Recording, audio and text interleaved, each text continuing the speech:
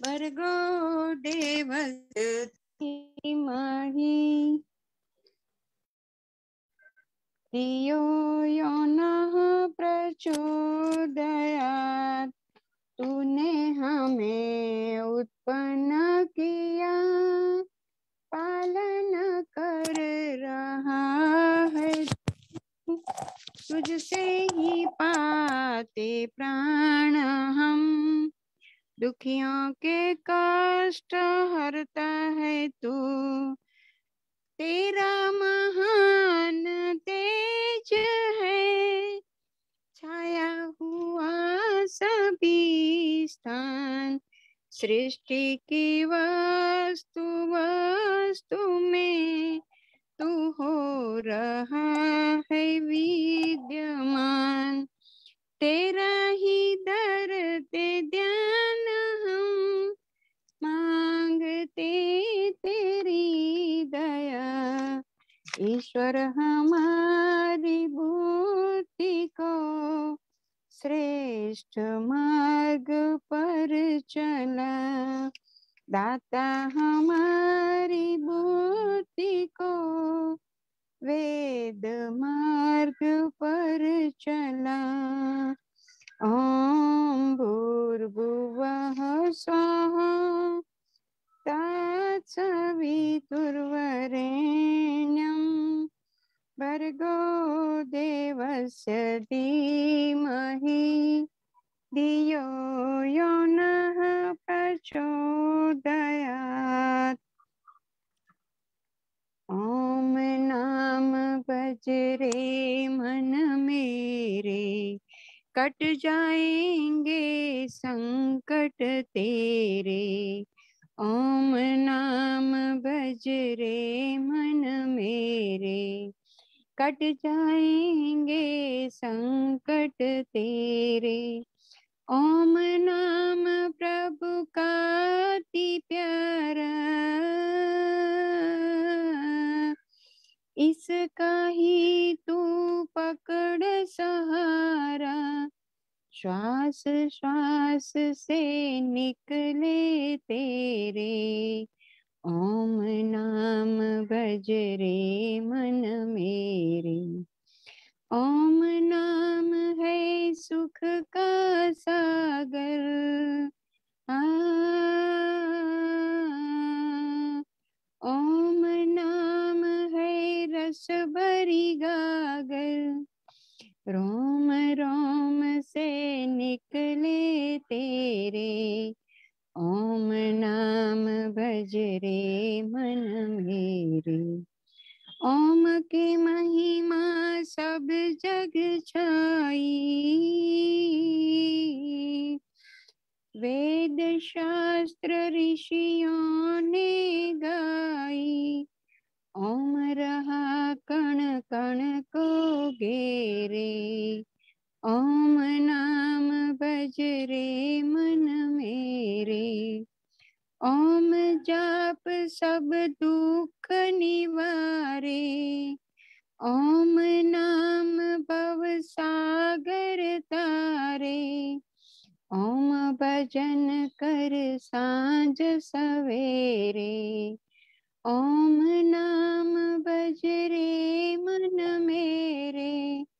Cut जाएँगे संकट तेरे। ओम नाम बजरे मन मेरे। बहुत बहुत धन्यवाद जी। बहुत बहुत धन्यवाद माता प्रवीण ठक्कर जी। आदर्श मेहता जी शादरा से। एक भजन जी सभी को सादर नमस्ते बहुत बहुत धन्यवाद अनिल जी आप हमें याद रखते हो। स्वागत है जी। हर हाल में दाता का जो शुक्र मनाते हैं हर हाल में दाता का जो शुक्र मनाते हैं उनके घर खुशियों की होती बरसाते हैं। उनके घर खुशियों की होती बरसाते हैं। है याद जिन्हें दाता, हर दात उन्हें मिलती। बिन मांगे खुशियों की सौगात उन्हें मिलती। सुख पाकर भी सुख में नहीं मन भर माते हैं। हर हाल में दाता का जो शुक्र मनाते हैं, उनके घर खुशियों की होती बरसाते हैं। ज़्यादा में शुक्र करे, थोड़े में सवर कीजे। ज़्यादा में शुक्र कीजे, थोड़े में सवर कीजे। फिर उसकी रहमत को दामन में भर लीजे फिर उसकी रहमत को दामन में भर लीजे ये बातें जो माने, वो ही सुख पाते हैं। हर हाल में दाता का जो शुक्र मनाते हैं हर सुख देने वाले, दाता को ना भूले।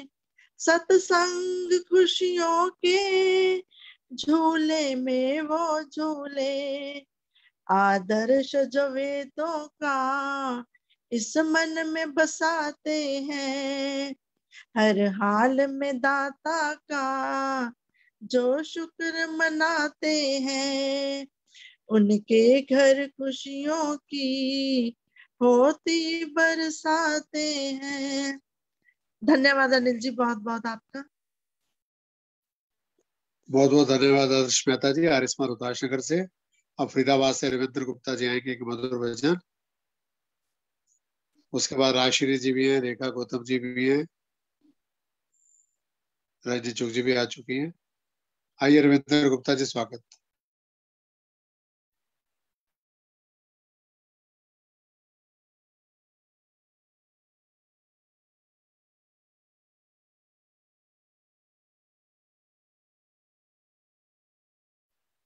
गुप्ता जी माइक खोल लो रविंद्र जी माइक बंद है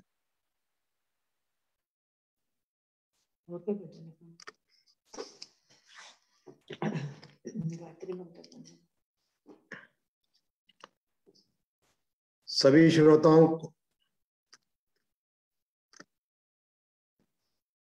सभी श्रोताओं को मेरा नमन आइए एक बार गायत्री महामंत्र का जाप करते हैं ओम भूर्भुवा स्वाहा। तत्सवितुर्वरेण्यं भर्गो देवस्य धीमहि। धियो यो न प्रचोदय ॐ भूर्भुवा स्वाहा। तत्सवितुर्वरेण्यं भर्गो देवस्य धीमहि, धियो यो नः प्रचोदया। ॐ भूर्भुवा स्वः तत्सवितुर्वरेण्यं। भर्गो देवस्य धीमहि, धियो यो नः प्रचोदया। आइए एक प्रभु स्तुति का गीत पथिक जी द्वारा रचित। हे नाथ, अब तो ऐसी कृपा हो, जीवन निरर्थक जाने न पाए। हे नाथ, अब तो ऐसी कृपा हो, जीवन निरर्थक जाने न पाए। ये मन न जाने क्या क्या दिखाए, कुछ बन न पाया मेरे बनाए। हे नाथ, अब तो ऐसी कृपा हो, जीवन निरर्थक जाने न पाए। संसार में ही आसक्त रहकर दिन रात अपने मतलब की कहकर संसार में ही आसक्त रहकर दिन रात अपने मतलब की कहकर सुख के लिए लाखों दुख सहकर, सुख के लिए लाखों दुख सहकर ये दिन अभी तक यूँ ही बिताए। हे नाथ, अब तो ऐसी कृपा हो। जीवन निरर्थक जाने न पाए। ऐसा जगा दो, फिर न सो न जाऊँ। अपने को निष्काम प्रेमी बनाऊँ। ऐसा जगा दो फिर सो न जाऊँ, अपने को निष्काम प्रेमी बनाऊँ। मैं आपको चाहूँ और पाऊँ, मैं आपको चाहूँ और पाऊँ। संसार का कुछ भी बैर न जाए। हे नाथ, अब तो ऐसी कृपा हो, जीवन निरर्थक जाने न पाए। वो योग्यता दो, सत्कर्म कर लूँ। अपने हृदय में सद्भाव भर लूँ। वो योग्यता दो, सत्कर्म कर लूँ। अपने हृदय में सद्भाव भर लूँ। नर तन है साधन बहु सिंधु तर लूँ ऐसा समय फिर आए न आए। हे नाथ, अब तो ऐसी कृपा हो, जीवन निरर्थ जाने न पाए। है है दाता हमें निर्भिमानी, बना दो दृद्रता हर लो दानी बना दो। हे दात, हमें निर्भिमानी बना दो। दृद्रता हर लो, दानी बना दो। आनंद में वैर ज्ञानी बना दो। मैं हूँ पथिक ये आशा लगाए। आनंद में वैर ज्ञान आनंद में वेद ज्ञानी बना दो। मैं हूँ पथिक ये आशा लगाए। हे नाथ, अब तो ऐसी कृपा हो। जीवन निरर्थक जाने न पाए। ये मन न जाने क्या क्या दिखाए। कुछ बन न पाया मेरे बनाए। हे नाथ अब तो ऐसी कृपा हो। जीवन निरर्थक जाने न पाए। बहुत बहुत धन्यवाद जी। रविंद्र गुप्ता जी बहुत बहुत धन्यवाद। अब मैं रज़ी चुक की आमंत्रण करता हूँ कि एक मधुर भजन। रज़ी चुक जी।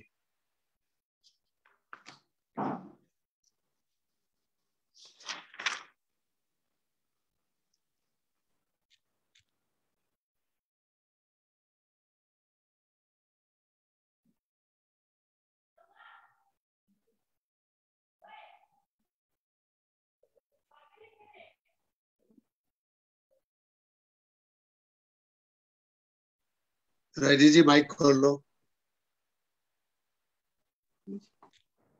हाँ जी। सभी को सादर नमस्ते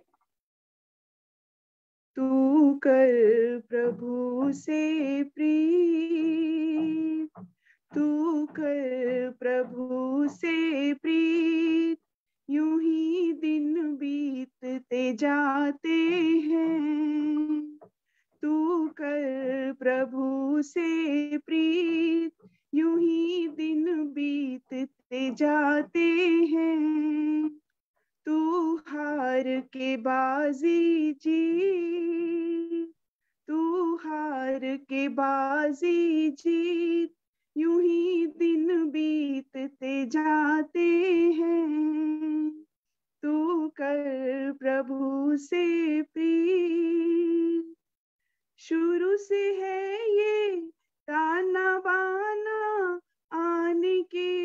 संग जाना, आने के संग जाना। कुएँ से भर भर लौट आए, खाली हुए रवाना। खाली हुए रवाना। है यही जगत की री है यही जगत की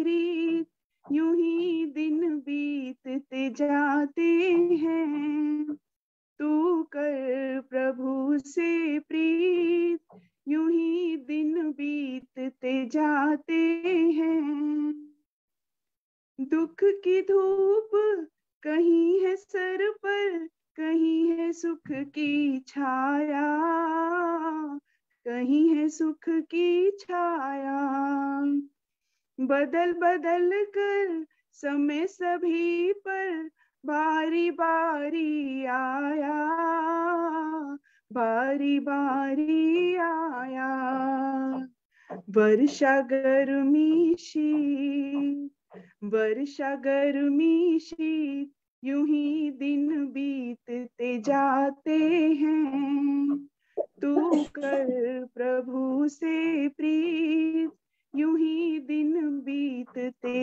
जाते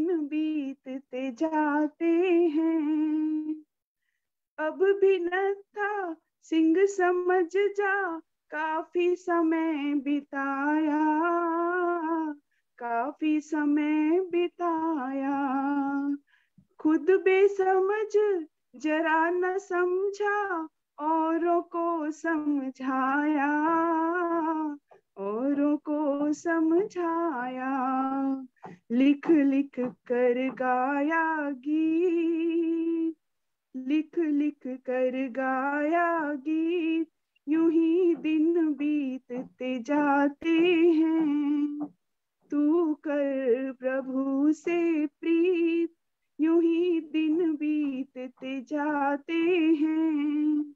तू हार के बाजी जीत, तू हार के बाजी जीत, यूँ ही दिन बीतते जाते हैं। तू कर प्रभु से प्रीत।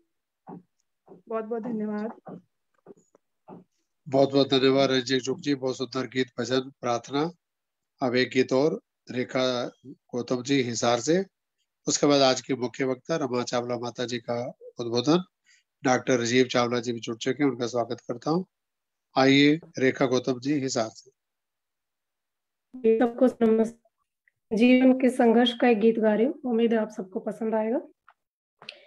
चल अकेला चल अकेला चल अकेला, तेरा मेला पीछे छूटा, राही चल अकेला। चल अकेला चल अकेला चल अकेला। तेरा मेला पीछे छूटा, राही चल अकेला। वो तेरा मेला पीछे छूटा, राही चल अकेला। हज़ारों मील लंबे रास्ते तुझको बुलाते। आ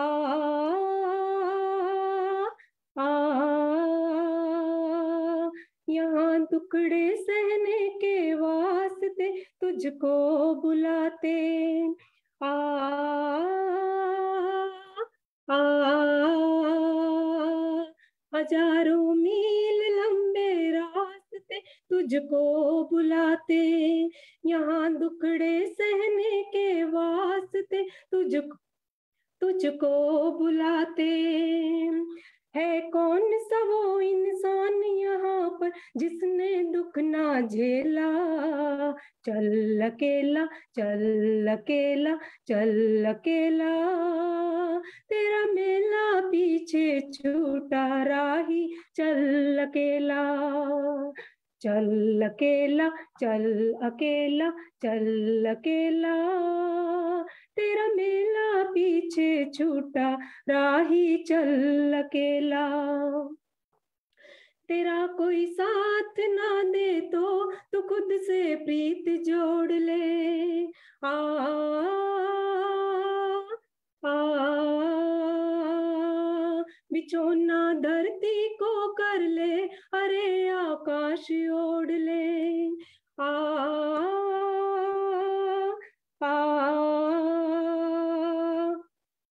तेरा कोई साथ ना दे तो तू खुद से प्रीत जोड़ ले, बिछोना धरती को कर ले, अरे आकाश ओढ़ ले। यहाँ पूरा खेल अभी जीवन का, तूने कहा खेला? चल अकेला चल अकेला चल अकेला। तेरा मेला पीछे छूटा राही, चल अकेला चल अकेला चल अकेला चल अकेला। तेरा मेला पीछे छूटा राही, चल अकेला। वो तेरा मेला पीछे छूटा राही, चल अकेला। जी, धन्यवाद आर्य जी, मुझे समय देने के लिए। बहुत बहुत धन्यवाद रेखा गौतम जी। लगभग पैंतीस चालीस साल पुराना गीत याद दिला दिया अब मैं आमंत्रित करता हूँ सभी भजन वालों का धन्यवाद करते हुए। माता रमा चावला जी रोहनी से आज का विषय है जीवन में रहना किस तरह दुनिया में रहना किस तरह। अपने अनुभव से अपने मार्गदर्शन से प्रकाश डालेंगी। हाँ उसके बाद बाकी भजन। मेरा आप सभी को प्रेम नमस्ते। राष्ट्रीय। अंतर्राष्ट्रीय स्तर के चमकते प्रबुद्ध सितारे जो ज्ञान से उत्पन्न होते हैं जो कि सदगुणी बहिर्मुखी हैं। अनिल जी व बाकी टीम मेंबर्स जिनके सौजन्य से तीन सौ बासठवा वेबिनार हो रहा है बधाई के पात्र हैं। मेरा आज का विषय है दुनिया में किस तरह रहना। मैं इसी पर विचार रखूँगी। जिसकी मुख्य अतिथि हैं सुनीता बग्गा जी और दक्ष श्रीमती कृष्णा पहुजा जी, जो कि व्यक्तित्व की धनी है, बहुत सरल और सीधे स्वभाव की है।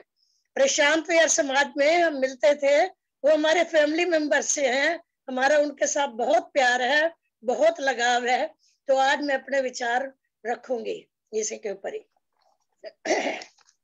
सबसे पहले ईशा वासा मिदम सर्वम। परमात्मा संसार के कण कण में, अणु अणु में, परमाणु परमाणु में विद्यमान है। और जब हमें ये विश्वास हो जाता है कि परमात्मा हर जगह पर विद्यमान है और छाया हुआ है, बसा हुआ है, और वो हमारे हमेशा भले और कल्याण के लिए है, और हमारा जैसे वो मेरी माँ भी है, वो हमारी माँ भी है, जैसे माँ बच्चे को नहलाती है, धुलाती है, खिलाती है, पिलाती है और अगर उसके भले और कल्याण के लिए थप्पड़ भी चप्पड़ भी उसको लगाती है। परमात्मा भी ऐसे हमेशा हमारे भले और कल्याण के लिए है, परमात्मा। जिसको ये विश्वास हो जाता है, वो जो है कड़कती हुई बिजलियों में, उमड़ते हुए तूफानों में, फटती हुई धरती पर खड़ा रहता है, लेकिन परमात्मा का विश्वास उसको पार लगा देता है। तो सबसे पहले हमने सीखना है कि जीवन में कैसे हमें रहना चाहिए, कैसे जीवन में हमें रहना चाहिए। इसके लिए सबसे पहले हम परमात्मा में अपना श्रद्धा और विश्वास पैदा करें। जब हमारे को परमात्मा के प्रति श्रद्धा और विश्वास हो जाएगा तो 24 घंटे में से कुछ समय निकाल कर उस प्रभु के प्रति हम अपना उसके मीठी बातें कर लें, दो प्यार भरी बातें कर लें और उसके समक्ष बैठकर हम अपना अंतर भी खोल सकते हैं। सारी बात परमात्मा के आगे हम कर सकते हैं। तो स्वामी दयानंद जी ऋग्वेद भाषा में लिख गए हैं कि भाई न्यून से न्यून एक घंटा प्रतिदिन प्रत्येक व्यक्ति को ध्यानवस्थ होना चाहिए। और जो मुमुक्षु हैं और जिनको मोक्ष की इच्छा है, वो दो घंटे प्रतिदिन हर व्यक्ति को जो है ध्यान अवश्य होना चाहिए। हमारे को परमात्मा का ध्यान ही सब कुछ पार लगाएगा। जिनकी बुद्धि देखो कुशाग्र बन गई, उनको कण कण में छिपा हुआ परमात्मा नज़र आता है। परमात्मा कहता है, तू अपनी आँखें तो उज्जवल कर। फूल की पंखड़ी में, घास की पत्ती में, कण कण में, परमाणु परमाणु में तो मुझको देख सकता है। अब सवाल है कि हमारी बुद्धि को कैसे अच्छा बनाए? बुद्धि को अच्छा अच्छा कैसे बनाए? बुद्धि अच्छी बनती है सात्विक भोजन से, अच्छे विचारों से, अच्छी संगत से, साफ़ स्वच्छ हवा से, प्राणायाम से, योग से, आसन से और स्वाध्याय करें अच्छी अच्छी पुस्तकों का। आर्ष ग्रंथ पढ़ने चाहिए नाश ग्रंथ में नहीं पढ़ने चाहिए। आर्ष ग्रंथ करने से हमारी बुद्धि जो है खुलती जाती है। अनाश ग्रंथ से बुद्धि हमारी भ्रमित हो जाती है। स्वाध्याय करें, अच्छी अच्छी किताबों का स्वाध्याय करें योग करें, आसन करें और औषध जो है वो भी हमें अच्छी खानी चाहिए। इससे हमारी बुद्धि जो है खुलती है। जब तक हमारी बुद्धि नहीं सुधरती, तब तक आता नहीं नज़र वो इन आँखों से। इन आँखों में वो शक्ति नहीं है जो उसको देख सके। कभी खड़े होके गुलाब के फूल से पूछो कि गुलाब के फूल, तेरे में ये रंग कोमलता, ये सुगंधी कहाँ से आई? मिट्टी में तो थी नहीं। छिपा बैठा है इसके अंदर कोई, जो इसको रंग भी दे रहा है, सुगंधी भी दे रहा है और कोमलता भी दे रहा है। जब हमारी बुद्धि ठीक होगी तो सारे संसार के अंदर बैठा हुआ परमात्मा हमारे को नज़र अवश्य आएगा। पहले हमें बुद्धि को सुधारना है, सबसे पहले बुद्धि अपने को सुधारना है। बुद्धि को हम अपने रितंबरा बनाए, रितंबरा बुद्धि बनाए और उसके बाद कभी भी अपना स्वभाव चिड़चिड़ा ना रखें। स्वभाव चर्चा ना ही किसी की मेन मेख निकालते रहे और ना ही किसी ऊपर टीका टिप्पणी करते रहे क्योंकि दूसरों के मेन मेख मेन मेख निकालने से हमारी बुद्धि बिगड़ती है। हम कहते हैं जो लोग होते हैं जिनकी आदत होती है मीन मेख निकालने की हर एक में वो दोष ही देखते रहते हैं। और जो नीच लोग होते हैं वो दोष देखते हैं सज्जन लोग जो होते हैं वो हमेशा गुण देखते हैं। जैसे भवरा तो देखो मधु की तलाश में रहता है और मक्खी जो है गंदगी में रुचि लेती है।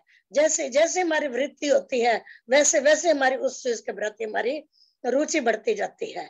तो सबसे पहले हमने अपनी बुद्धि को सुधारा। जब बुद्धि को सुधारेंगे तो सब कुछ हमारा ठीक हो जाएगा।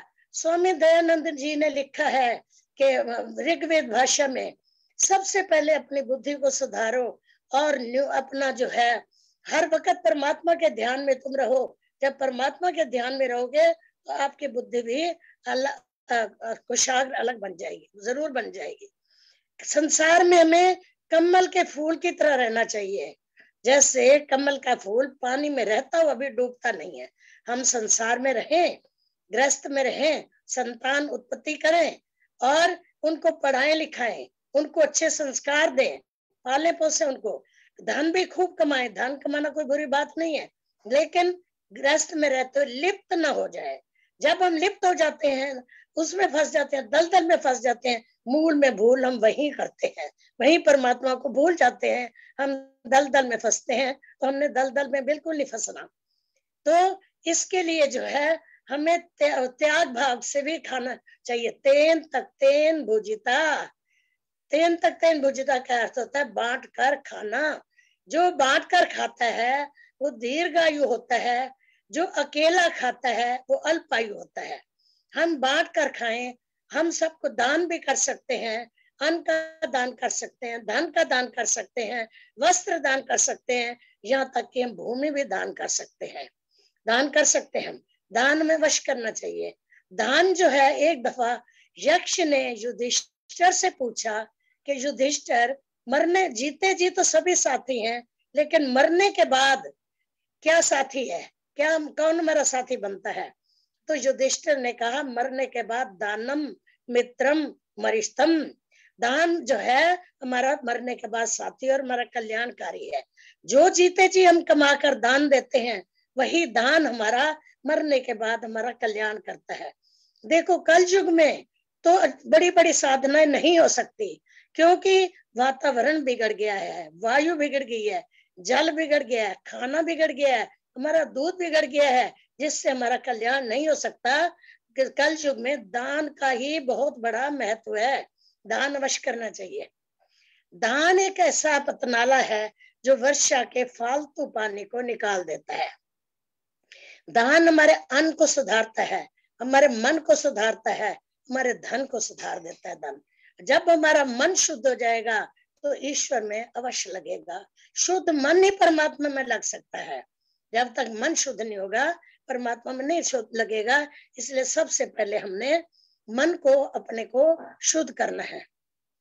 तो उसके बाद है हमारे चार चीज़ें हमारे में और भी होनी चाहिए। हम प्रजापति बने। प्रजापति जो है सविता, सोमो और अग्नि वाला स्वभाव। ये चार चीज़ें हमारे स्वभाव में होनी चाहिए। प्रजापति का मतलब होता है, हम प्रजा को जैसे हमारे नीचे जो काम करने वाले हैं, उनको हमेशा हम प्रसन्न रखें। उनको अगर पैसा मेरी तनख्वाह कम है तो उनको हम तनख्वाह बढ़ा दें। अगर उनको कोई बीमारी है तो हम उनको डॉक्टर को दिखाएँ जाकर। अगर किसी और चीज़ की कमी है तो हम उनकी वो कमियों को पूरा करें। हमेशा उनको अधीन काम करने वाले को जो है, हमें प्रसन्न रखना चाहिए। ये भी प्रजापति के गुण हैं। दूसरा है सविता।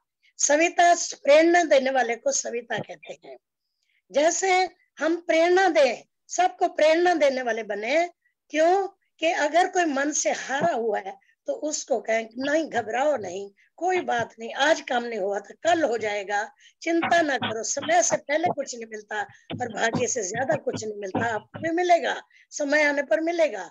आप घबराओ नहीं हम प्रेरणा देने वाले बने सबको। सबको प्रेरणा देने वाले बने। और सूर्य सविता सूर्य को भी कहते हैं। सूर्य का जो है जैसे आता है सूर्य निकलता है हम सब में प्राण भर देता है ऊर्जा भर देता है।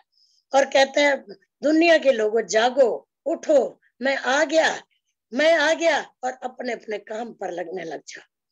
परमा ऋषि स्वामी दयानंद जी ने ऋग्वेद भाषा में लिखा है, वो सुनता है, अवश्य सुनता है, अंतर ध्यान होकर सुनता है, सारी हमारी कामना भी परमात्मा पूरी करता है, और जो को देखता हमारे हित कर है, वो हमें देता जाता है, जो अहित कर होता है, वो हमें नहीं देता। तो तीसरी चीज़ है सोमो। हमारा स्वभाव स्वभाव जो है, सौम्य होनी चाहिए। कभी भी कर्कश और कठोर वाणी हम ना बोले। कर्कश और कठोर वाणी वाला बोलने वाला मनुष्य हमेशा व्यक्ति जो है, वो असफल रहता है। मीठा और माधुर्य बोले। माधुर्य बोलने वाला इंसान सबका जो दिल जीत लेता है, सबको अपना बना लेता है उसको दुनिया में सफलता ज़्यादा मिलती है। कभी हम ये ना कहें हट तेरे की, हट यहाँ से। गंदे शब्द ना बोलें, कर्कश वाणी ना बोलें, ताकि हम जो है, मीठा बोलने से सबको अपना बना सकते हैं। फिर अग्नि अग्नि का देखो गुण है ऊपर चढ़ना। अग्नि की लाट हमेशा ऊपर ऊपर चढ़ती जाती है। कभी नीचे नहीं होती, परमात्मा का भी एक नाम अग्नि है। वो हमेशा आगे आगे ले जाता है। हम भी लोगों को प्रेरणा देने वाले बने और उनको जो है अपने आप ही प्रेरणा ले परमात्मा से और लोगों को भी प्रेरणा देने वाले हम बने। अग्नि वाला स्वभाव हमारा भी होना चाहिए। हम खुद ऊँचे उठे और दूसरों के ऊँचा उठाने की हम कोशिश करें। हमेशा यही सोचते रहे कि दूसरे की उन्नति में भी, हमारी उन्नति भी होनी चाहिए। हमारी उन्नति उनको है। अब हम ये देखें कि हम जो है परमात्मा की उपासना कैसे करें। दुनिया में रहते हुए परमात्मा की उपासना कैसे करें? स्वामी दयानंद जी ऋग्वेद भाषा में लिख गए हैं कि अष्टांग योग से ईश्वर की उपासना हो सकती है। ये अष्टांग योग क्या है? यम, नियम, आसन, प्राणायाम, प्रत्याहार, धारणा, ध्यान और समाधि। योग क्या है? सबसे पहले तो हम योग देखें। योग है, जहाँ जहाँ भी हमारा मन अटका हुआ है बाप में, बेटे में, पति में, पत्नी में, बाग में, बगीचे में, परिवार में और कारोबार में, जहाँ भी हमारा मन अटका हुआ है, उसको वहाँ से हटाएँ हटाएँ हटाएँ। इसी का नाम योग और परमात्मा में लगाएँ, इसी का नाम योग है। उसको मन को हटाकर परमात्मा में लगाएँ। शरीर को स्वस्थ बनाने के लिए, मन को ठीक रखने के लिए और चित्त को अनुकूल बनाने के लिए हमें जो है यम और नियम का पालन करना चाहिए। अब हम ये देखते हैं यम और नियम क्या है। यम और नियम क्या है? यम पाँच है। सबसे पहले अहिंसा, फिर सत्य, फिर अस्ते, फिर अपना ब्रह्मचार्य, फिर अपरिग्रह। सबसे पहले अहिंसा में क्या आता है? अहिंसा में आता है किसी का दिल ना दुखाना अहिंसा है। किसी का दिल ना दुखाना अहिंसा है। सत्य, जो चीज़ जैसी है, उसको वैसा ही कहना चाहिए। फिर उसके बाद अस्ते, कभी हम चोरी का चिंतन भी ना करें। चोरी का चिंतन भी ना करें। फिर उसके बाद आ जाता, आप अपना ब्रह्मचर्य। संयम और नियम का जीवन जिनका है, वो उनका ब्रह्मचर्य का जीवन है। उसके बाद पांचवा आ जाता है आप परिग्रह है। अवस्था से ज़्यादा हम इकट्ठा ना करें। जितनी अवस्था उतना ही अवश्य इकट्ठा करें। ज़्यादा कर, वो परिग्रह में आ जाता है। जब हम अवस्था जितना ही जम करते हैं, इकट्ठा करते हैं। दूसरा आ जाता है नियम। नियम भी पाँच है। सबसे पहले है शौच, दूसरा है संतोष, तीसरा है तप, चौथा है स्वाध्याय और पांचवा है ईश्वर पर निधान। तो सबसे पहले शौच। शौच भी दो प्रकार का होता है। एक तो बाहर से भी हम रोज साफ़ और स्वच्छ कपड़े पहन के रखें और अंदर से भी पवित्र हो हम। हमारा मन और बुद्धि पवित्र हो। मन बुद्धि पवित्र ही परमात्मा में लग सकता है। जब तक मन शुद्ध नहीं होगा, परमात्मा में नहीं लगेगा। हम सबके लिए अच्छे विचार रखें, अच्छे भाव रखें अच्छा सोचें अच्छा ही उनके बोले अच्छा ही सुनने की हमें आदत हो तो उसको जो है, अंदर से शुद्ध होंगे, हम बाहर से भी शुद्ध होंगे अंदर से शुद्ध होने से होगा, हम परमात्मा के साथ जुड़ते जाएँगे। जब तक हमारा मन शुद्ध नहीं होगा, हम परमात्मा से नहीं जुड़ सकते। ऊपरी शाब्दिक शब्दों से हम परमात्मा से नहीं जुड़ सकते। तीसरा है तप। तप में देखो, तप जो है, द्वंद्वों का सहना तप है। गर्मी है, सर्दी है, भूख है, प्यास है, और हानि है, लाभ है। इन सबको जो खुशी खुशी सहता है, वो संसार में रहता, वो भी योगी है। और जो सम देखता है, सबको बराबर देखता है वो जो है संसार में रहता हुआ ये योगी है। उसके बाद पांचवा आ जाता है स्वाध्याय। स्वाध्याय, हमें किताबों का भी स्वाध्याय करना है अच्छी अच्छी पुस्तकों का और अपना भी स्वाध्याय। स्वाध्याय में भी दो चीज़ें आती हैं। अच्छी अच्छी पुस्तकों का हम स्वाध्याय करें अनार्श ग्रंथ ना पढ़े आर्ष ग्रंथ पढ़े। आर्ष ग्रंथ पढ़ने से बुद्धि खुलेगी और अनार्श ग्रंथ पढ़ने से बुद्धि हमारी भ्रमित होती जाएगी। और उसके बाद फिर हम अपना भी साध्य करें।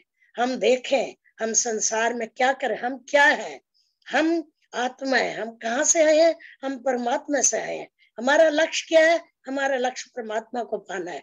हम परमात्मा से वायदा करके आए हैं कि परमात्मा मुझे इस कुंभी नर्क से निकाल, मैं तुझे कभी नहीं भूलूँगा, मेरा लक्ष्य तो रहेगा। लेकिन संसार में आकर उस लक्ष्य को हम भूल जाते हैं। भटक जाते हैं वहाँ पर। दल दल फंस जाते हैं और उसको भूल जाते हैं। पर अपना और जब हम अपना निरीक्षण करें हम तो हमें सारी बुराई अपने देखते हैं। और जो बुराई में देखते हैं हमें निकालने भी चाहिए।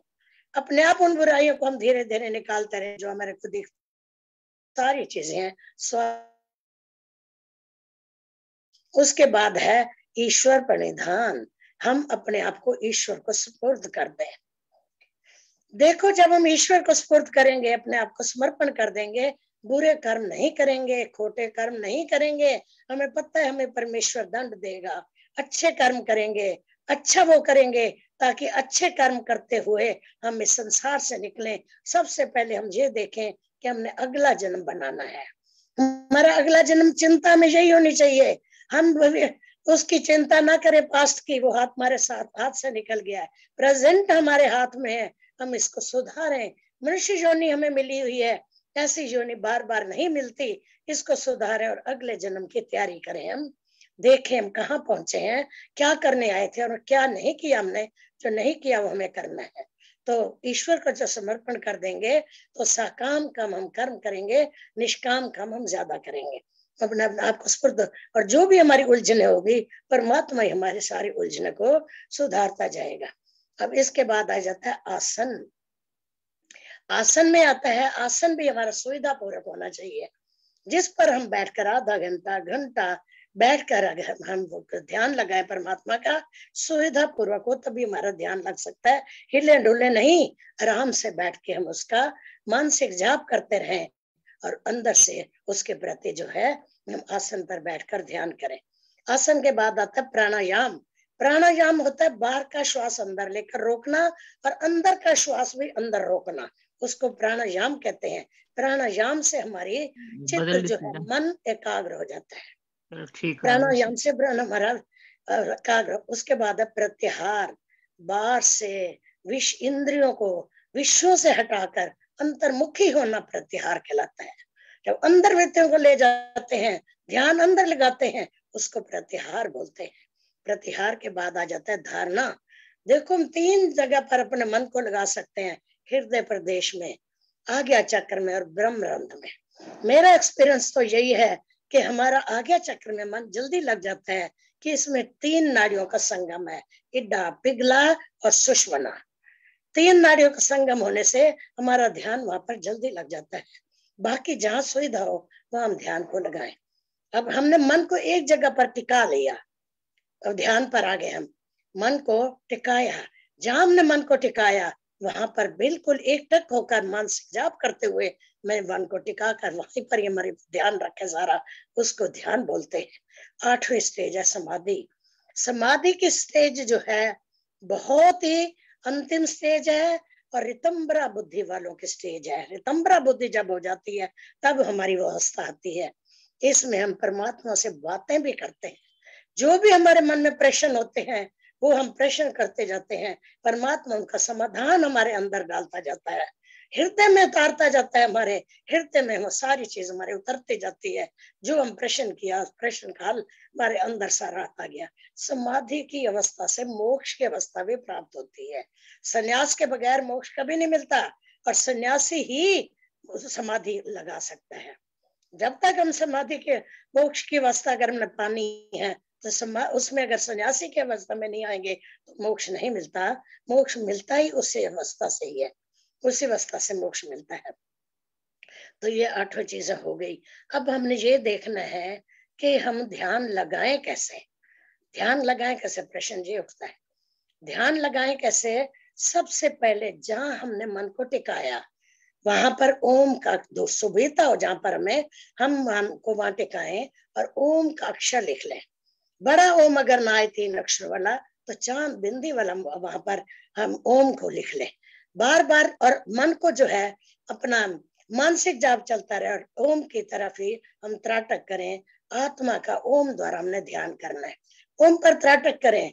लिखे फिर मिट जाएगा, लिखे फिर मिट जाएगा, लिखे फिर मिट जाएगा।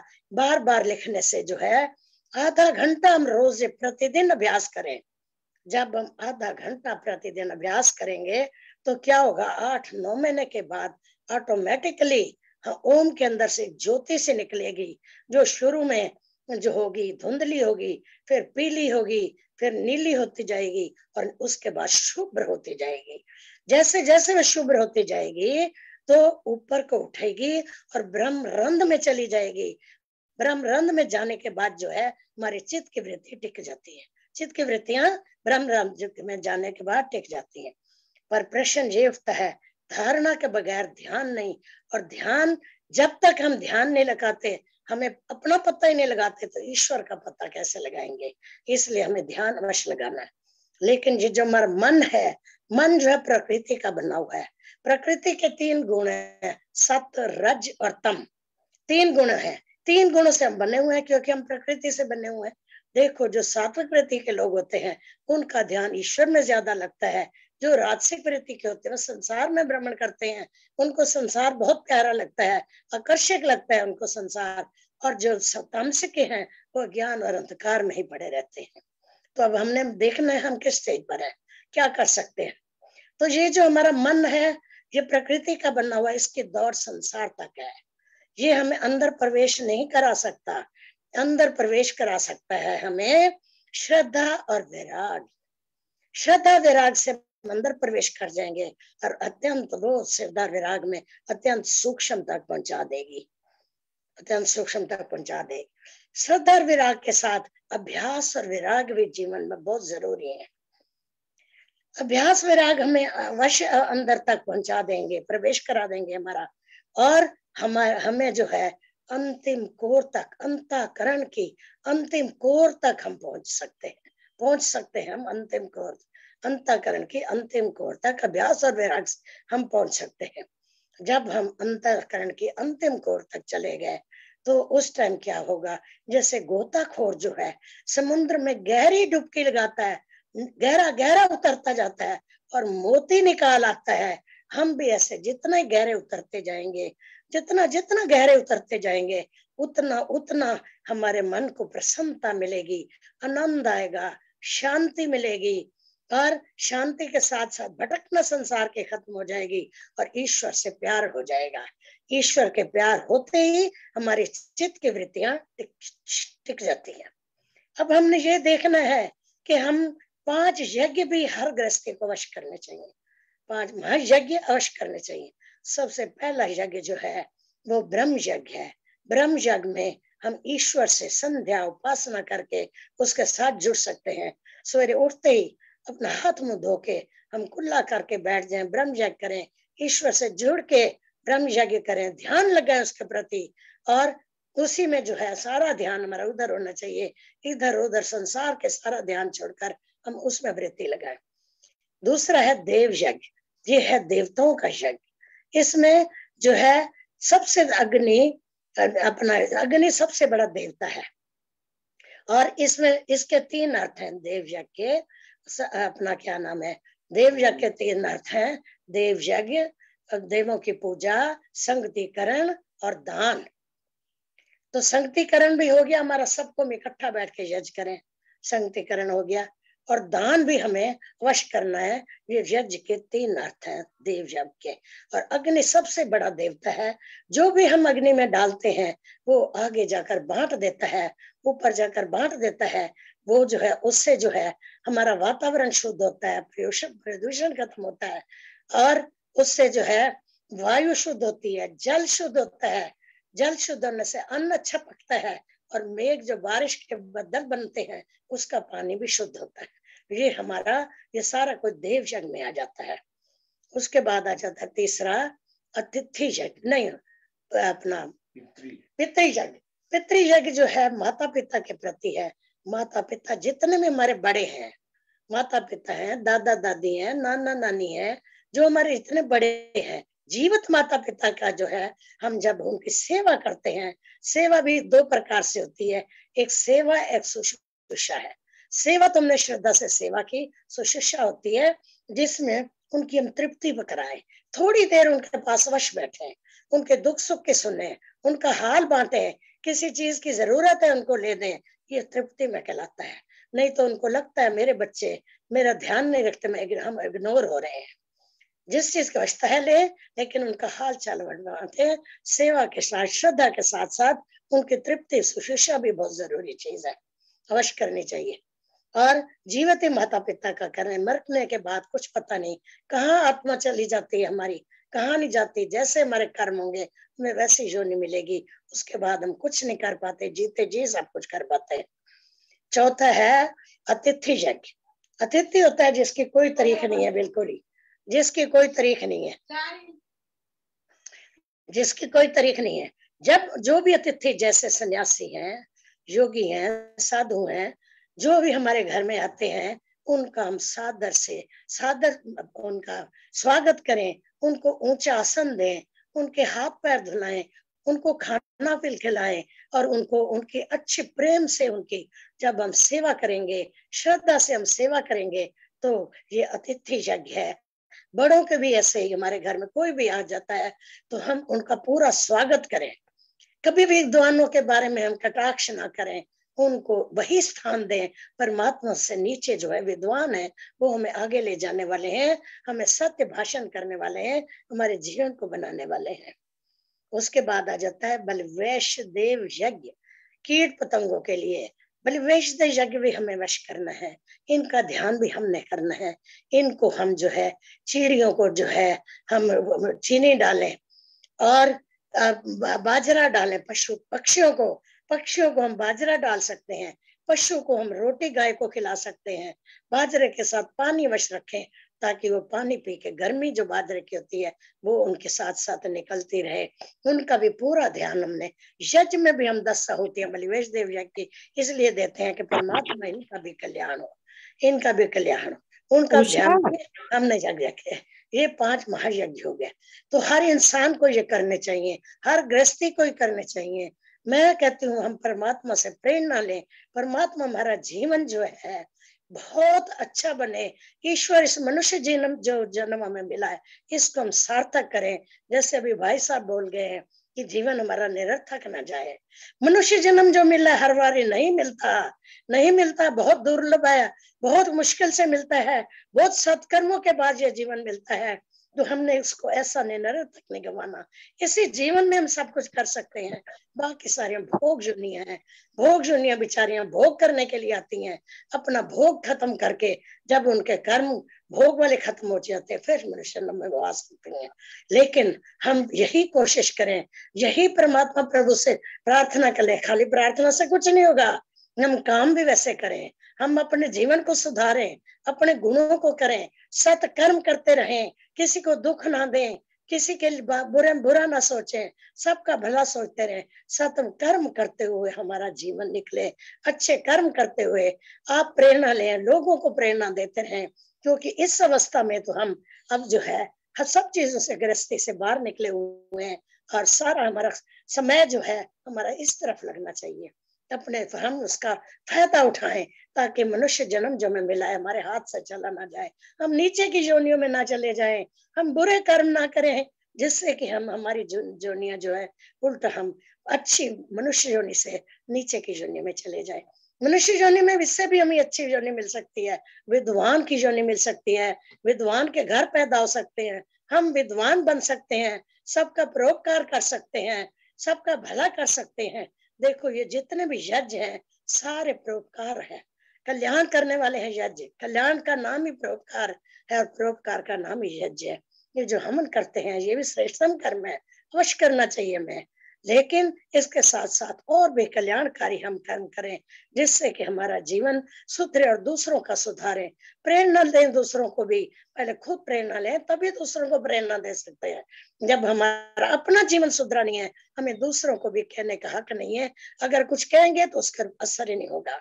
सबसे पहले अपने जीवन को देखें, क्या करने आए थे, क्या किया कर, क्या करके जा रहे हैं, और उस परमात्मा को क्या मुँह दिखाएँगे। असली धाम तुम्हारा वही है। उसी को हमने अपना मुँह जाके दिखाना है। तो अच्छे कर्म करके जाएँगे तो हमें मौत का डर भी नहीं लगेगा।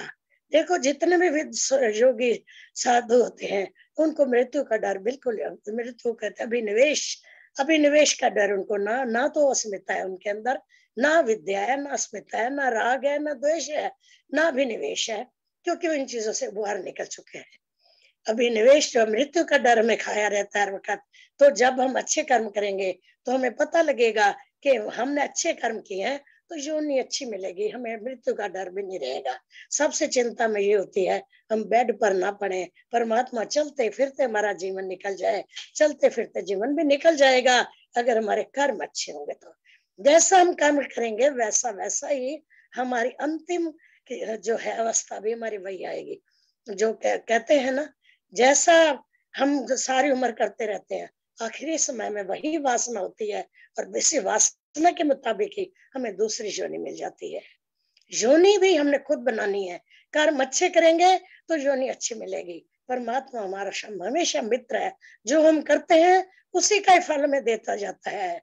जो अच्छा करते हैं अच्छा कह देता है।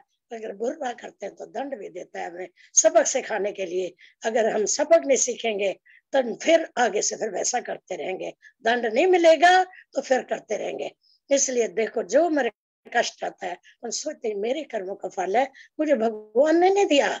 नहीं दिया, ये हमें पता नहीं हमारा किस कर्म का फल है, ये हमें पता नहीं होता, क्योंकि परमात्मा की व्यवस्था है। लेकिन हमें ये पता लगता है कि मैंने कोई कर्म तो ऐसा किया है जिसका फल मुझे मिल रहा है। जब इतना समझ जाते हैं तो फिर हमें अच्छे कर्म करने चाहिए, ताकि अच्छे कर्म करते हुए हमारा जीवन निकले और आगे का भी हमारा सुधार हो दूसरों का भी सुधार करें बाल बच्चों का सुधार करें। जैसा हम करेंगे हमारे बच्चे हमारे को देखकर वैसा ही करते हैं। बच्चे नकल करते हैं ना कि हमारा भाषण सुनते हैं। नकल करते हैं जैसे पे माँ बाप को दादा दादी को कर, करता देखते हैं बच्चे वैसे बनते हैं। बच्चे सुधारना भी गृहस्थी में सबसे हमारी बड़ी ड्यूटी है।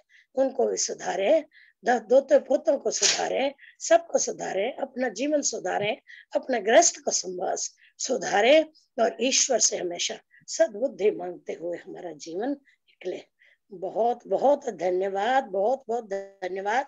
अनिल जी, आपने मुझे समय दिया, तभी मैं थोड़े अपने विचार आपके सम्मुख रख सकी। बहुत बहुत धन्यवाद आप सबका। और उनका भी धन्यवाद कृष्णा बहुजा जी का। सुंदर माता जी बहुत सुंदर। सुनीता बग्गा जी का भी बहुत बहुत धन्यवाद जिन्होंने मुझे समय दिया। इसके लिए मैं बहुत ज़्यादा एहसान मंद हूँ बहुत ज़्यादा एहसान मंद ओम ओम ओम। ओम बहुत धन्यवाद बहुत सुंदर बहुत सुंदर मार्गदर्शन जीवन के हर पहलू पे प्रकाश डाला कि जीवन में किस तरह तो तो आपने दिया समय भी दिया आशीर्वाद भी दिया। तो हमारे इस ग्रुप की शोभा बड़ी आर्य परिवार की। तो बहुत बहुत धन्यवाद करता हूँ। करुणा जी कुछ कहना चाहें? डॉक्टर अर्चना चावला जी राजीव चावला जी तीनों हाँ जुड़े हुए हैं। तो हाँ मैं हाँ सबको सादर नमस्ते। मैं तो अभी थोड़ा लेट ही जुड़ी हूँ लेकिन मम्मी ने बहुत अच्छा भोजन दिया बहुत ही अच्छा बहुत ज़्यादा अच्छा दिया। धन्यवाद।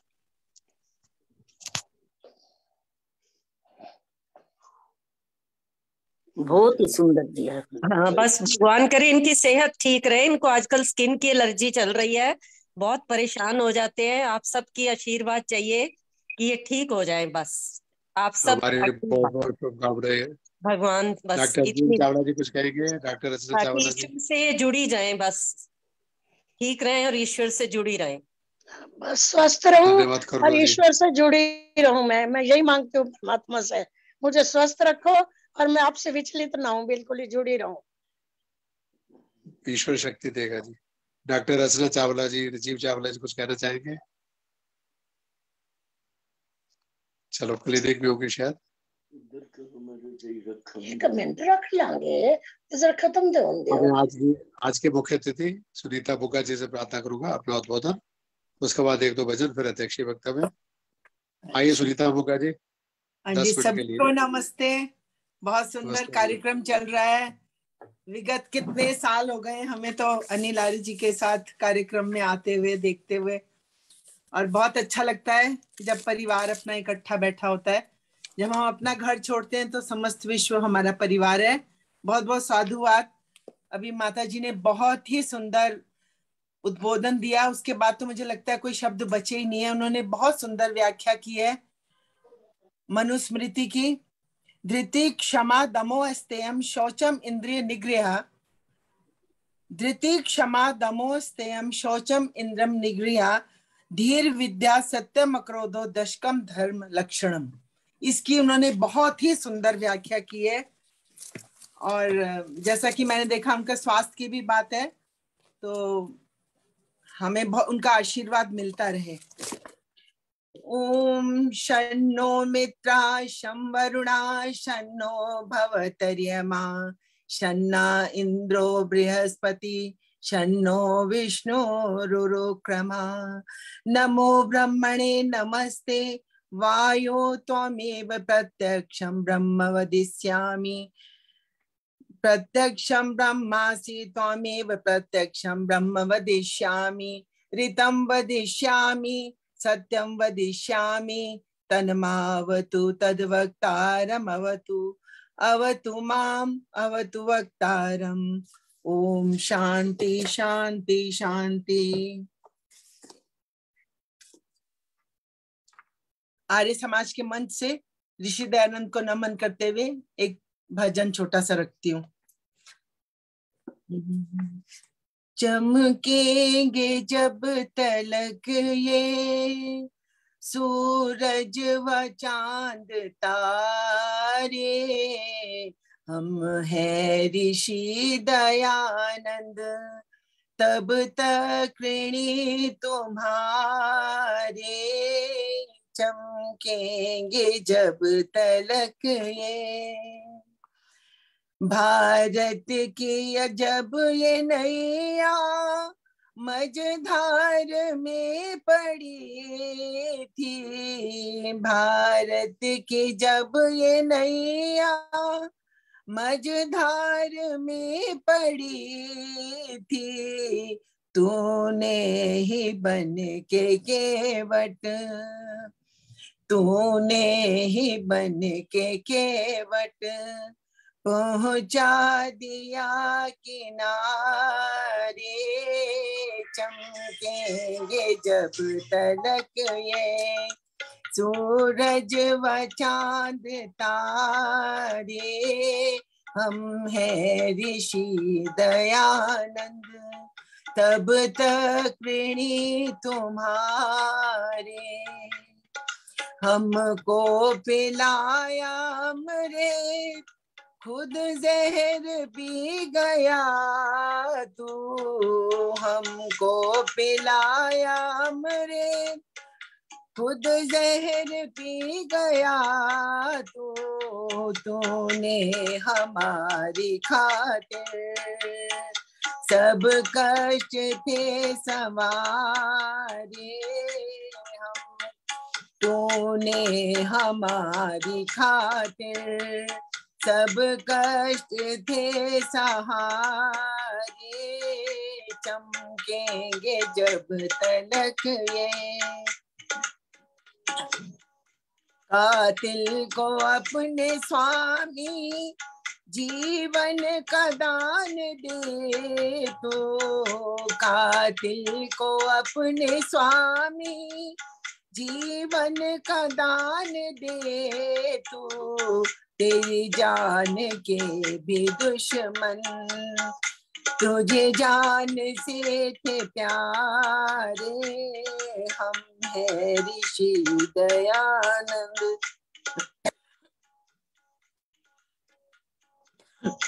तू वो दिया था जिसने लाखों दिए जलाए। तू वो दिया था जिसने लाखों दिए जलाए दी रोशनी पथिक वो दी रोशनी पथिक वो। घर थे जग जगमगाए चमकेंगे जब तलक ये। सूरज व चाँद तारे, हम है ऋषि दयानंद। तब तक ऋणी तुम्हारे चमके गे जब तलक ये। बहुत बहुत धन्यवाद समय देने के लिए। आज इस मंच में मुझे अनिल जी ने बुलाया है, आमंत्रित किया है। मैं इस मंच से कुछ दो तीन बातों का संदेश देना चाहूँगी कि राष्ट्र धर्म सर्वोपरि है। आज जो हमारे राष्ट्र की स्थिति चल रही है, उसमें हम अपने मतभेदों को दूर करके और हम राष्ट्र धर्म सर्वोपरि करके हम देश को आगे ले जाए। इसके लिए हमारी जो शिक्षा नीति है, मैं बार बार इस मंच से आपको आवाहन करके कहती हूँ कि जो शिक्षा नीति है, उस पर हम ध्यान दें। आज ऑनलाइन जितने भी बच्चे पढ़ रहे हैं इस कोरोना काल में, ऑनलाइन में माता निर्माता भवती की जो बात है वो उभर के आई है कि आज माताओं ने ही सारा टीचर्स का, गुरुओं का सबका रोल प्ले कर लिया है और बच्चों को बहुत अच्छा घर में वातावरण देकर पढ़ाया है। आज ये समझ में आ रहा है और विद्यालयों का भी हमें महत्व समझ में आ रहा है। दूसरी बात है कि हम सेल्फ डिफेंस की जो ट्रेनिंग है वो अपनी बालिकाओं को दें, वीरांगना के रूप में।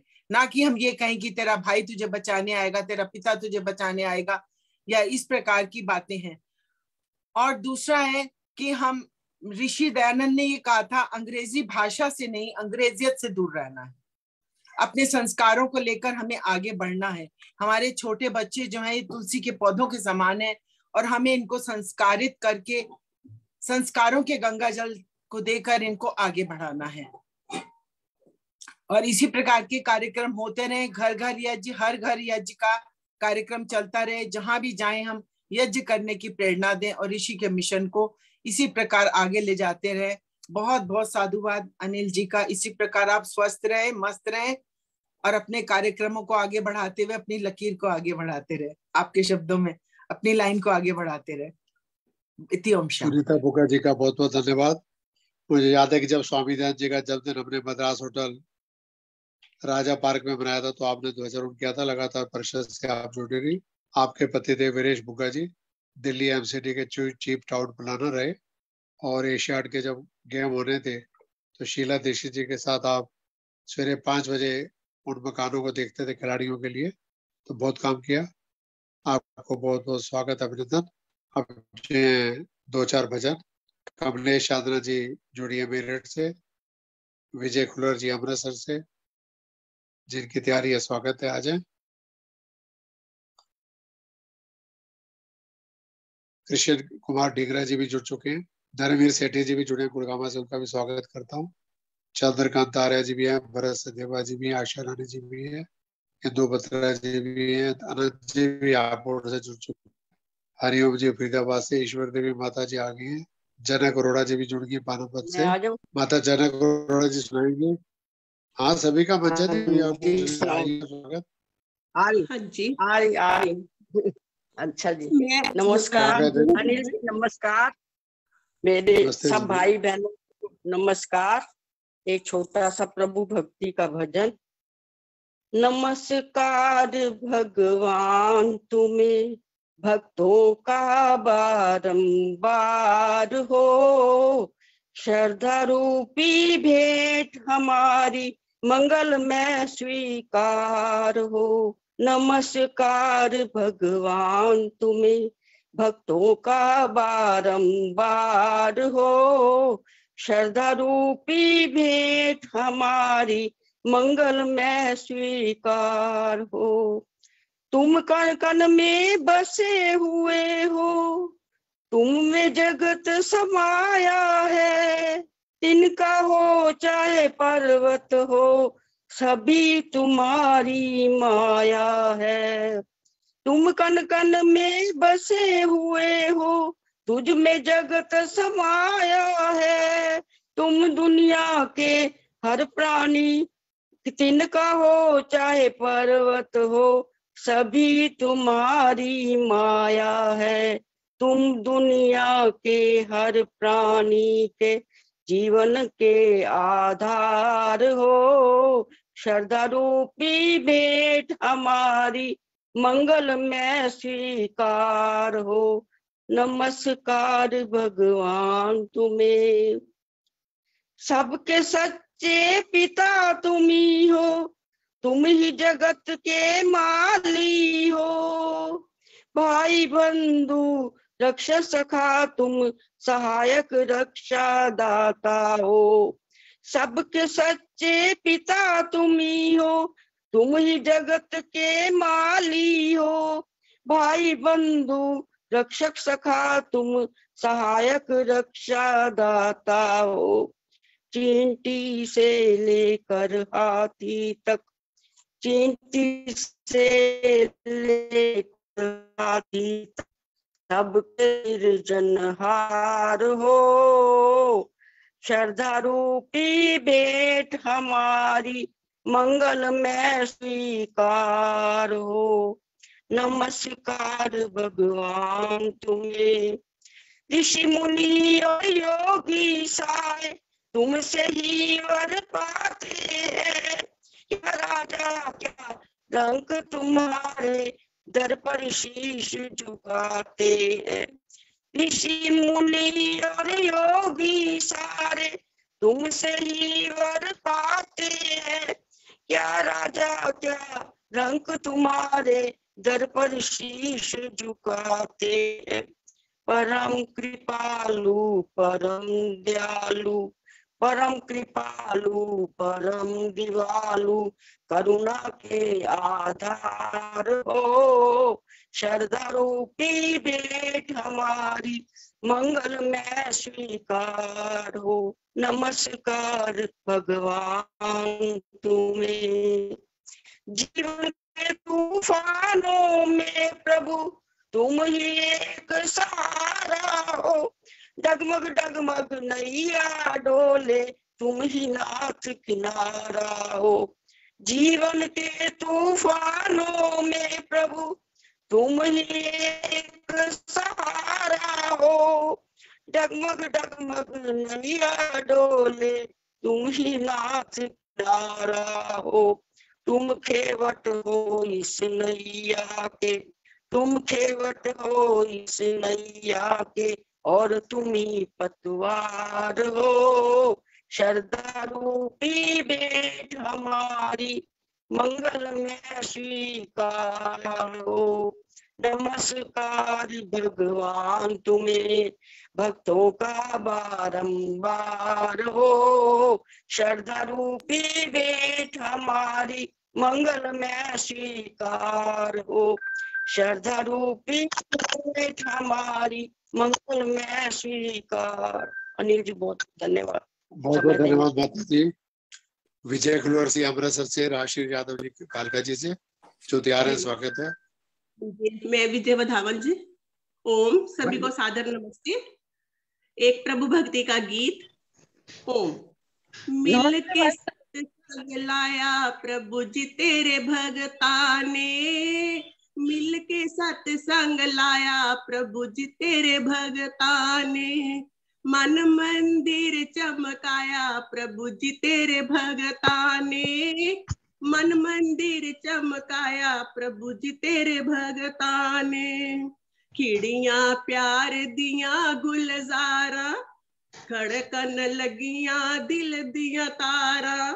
खिड़िया प्यार दिया गुलजारा खड़कन लगिया दिल दिया तारा ओम नाद बजाया प्रभु जी तेरे भगता ने ओम नाद बजाया प्रभु जी तेरे भगता ने मन मंदिर चमकाया प्रभु जी तेरे भगता ने ओम प्रभु दा नाम है प्यारा खिल उठया है तन मन सारा ओम प्रभु दा नाम है प्यारा, खिल उठया है तन मन सारा। सब नु मस्त बनाया प्रभु जी तेरे भगता ने। सब नु मस्त बनाया प्रभु जी तेरे भगता ने। ओम नाम दी चढ़ी खुमारी, मिठी मिठी, प्यारी प्यारी।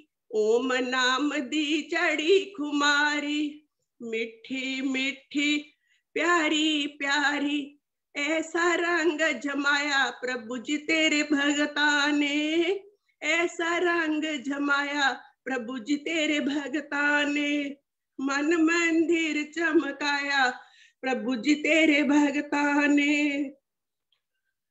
हर चेहरे ते रौनक आई दिल दिल ते हरियाली छाई, हर चेहरे ते रौनक आई। दिल दिल ते हरियाली छाई, प्यार दरस बरसाया प्रभु जी तेरे भगता ने प्यार दरस बरसाया प्रभु जी तेरे भगता ने मिल के सत्संग लाया प्रभु जी तेरे भगता ने बैठे दूरों दूरों आके, मन विच तेरा ध्यान लगा के बैठे दूरों दूरों आके, मन विच तेरा ध्यान लगा के भक्ति दा फल पाया प्रभु जी तेरे भगता ने। भक्ति दा फल पाया प्रभु जी तेरे भगता ने। मन मंदिर चमकाया प्रभु जी तेरे भगता ने। अब तो हो गया दूर हनेरा, जगमग होया चार चुफेरा। जीवन सफल बनाया प्रभु जी तेरे भगता ने। जीवन सफल बनाया प्रभु जी तेरे भगता ने। मिल के सत्संग लाया प्रभु जी तेरे भगता ने। मन मंदिर चमकाया प्रभु जी तेरे भगता ने। ओम जी धन्यवाद जी। बहुत बहुत धन्यवाद जी। राशिर यादव जी आएँगी नहीं तो बिंदु प्रधान जी तैयार रहे राशिर यादव जी आ रही है। चलो बिंदु प्रधान जी आप आना चाहेंगे? बिंदु बत्रा जी है। Okay okay. हाँ, बोलने फिर मैं फिर बोलू। हाँ जी स्वागत है। हाँ जी। बोलो जी। बिंदु जी आप बोल रही हैं? चलो बोलिए। नहीं आज मैं नहीं बोल पाऊँगी चलो श्रोते हैं आज। हाँ ओ। मैं बोल लेती हूँ। आइए दुबत्रा जी शालीमार बाग से। हाँ जी। नमस्कार अंकल जी। नमस्कार सभी को। हाँ जी। बहुत ही अच्छा प्रोग्राम बहुत ही बढ़िया। मैं भी कोशिश करती हूँ कि छोटा सा एक भजन आपको सुनाऊं। सौ बार जन्म लेंगे, सौ बार पना होंगे। एहसान, दयानंद के फिर भी नादा होंगे। सौ बार जन्म लेंगे। गुजरात की धरती से सूरज की किरणें फूटी। अज्ञान अविद्या के दानव की कमर टूटी। भारत पूर्ण हुआ। अब अर्श समा होंगे। एहसान दयानंद के फिर भी नादा होंगे। सौ बार जन्म लेंगे। निराकार की पूजा को जीवन में उतारा था। पाषाण का अभिनंदन कब उसको गवारा था। मुँह मोड़ लिया जिसने पत्थर के खुदा होंगे। एहसान दयानंद के। फिर सौ बार जन्म लेंगे। आकाश में है रोशन, शमसो कमर कमर जब तक। दिन रात है जब तक और शाम सहर जब तक। अफसान दयानंद के दिल से न जुदा होंगे। एहसान दयानंद के फिर भी न अदा होंगे। वीर आर्य मुसाफिर से। सहनानी दिए हमको और स्वामी शरदानंद से। बलिदानी दिए हमको खून उनकी शहजत के होंगे। भी तो क्या होंगे? एहसान दयानंद के फिर भी न अदा होंगे। स्वागत के लिए जिनके पाषाण थे या कंकर, गम खा के बने हनुमन। विष पी के बने शंकर। फूल उनके मुकदर में होंगे, भी तो क्या होंगे? फूल उनके मुकदर में होंगे, भी तो क्या होंगे? एहसान दयानंद के फिर भी नादा सौ बार जन्म लेके सौ बार फना होंगे सौ बार होंगे धन्यवाद जी बहुत बहुत आपका समय देने का अंकल, बहुत बढ़िया। बहुत बहुत धन्यवाद, इंदु पत्रा जी। इससे पहले कि कमला हंस जी बोले, ईश्वर देवी जी बोले, प्रतिभा कटारे जी बोले पहले आज के अध्यक्ष कृष्णा पूजा जी आर एस प्रशांत बिहार से परिषद के पूर्व राष्ट्रीय उपाध्यक्ष के सी पूजा एडवोकेट उनकी आप धर्मपत्नी है। उसके बाद सात बजे तक तो कार्यक्रम चलाएँगे ही हम। कृष्णा पूजा जी आइए। सभी को मेरा हार्दिक नमन। सभी जुड़े हुए बहनों को भाइयों को मेरा बहुत बहुत गहराइयों से दिल की गहराइयों से नमन। और मैं आज भाई साहब का बहुत बहुत धन्यवाद करती हूँ कि उन्होंने मुझे विशेषतया निमंत्रित करके भाई साहब के जाने के बाद भी मुझे याद किया और याद करते रहते हैं और उन्होंने निमंत्रित किया तभी मैं आ, माता जी रमा चावला जी का इतना सार गर्भित भाषण सुन सुन सकी। इसके लिए मैं आपके लिए आपकी बहुत बहुत धन्यवादी हूँ और माता जी के लिए मेरी चरण वंदना कि उन्होंने इतने स्पष्ट शब्दों में ऐसा लगा कि पूरे ही उपनिषदों का वेदों का पूरा सार कागर में सागर भर करके हमारे सामने रखा। और ये सिर्फ़ उन्होंने शब्दों में ही नहीं रखा। जैसा मैं उनको जानती हूँ जैसा पुरानी मैं उनसे परिचित हूँ वो मुझे हमेशा आशीर्वाद देती रही हैं जो आज भी दे रही थी कि उन्होंने अपने जीवन में सिर्फ़ हमें समझाया ही नहीं बल्कि अपने जीवन में भी उसको उतारा हुआ है जैसा उन्होंने कहा भी है कि बच्चे भाषण नहीं सुनते, वो क्रियात्मक रूप को देखते हैं और उसका अनुकरण करते हैं। वो हमारे सामने एक बहुत स्पष्ट उदाहरण है कि वो बहुत ही गुणवत्ती हैं और लगता है कि उन्होंने बहुत ज़्यादा स्वाध्याय किया हुआ है, जिन्होंने ज्ञान के ऐसी मोतियों की माला हमारे सामने पिरो दी है कि जिसको हम एक एक मन का भी चुने, उसका अनुसरण करें तो हमारे जीवन में बहुत हमें सफलता मिल सकती है।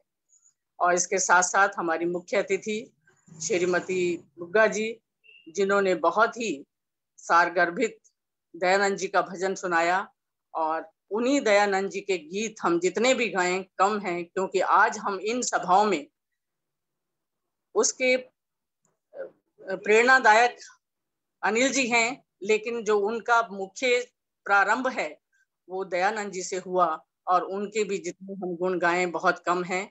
और आज हम इस तरह से ऐसी सभाओं में सम्मिलित होकर के इस तरह की ज्ञानवर्धन बातों को सुन के अपने जीवन को सफल बनाने का पूरा प्रयास करते हैं।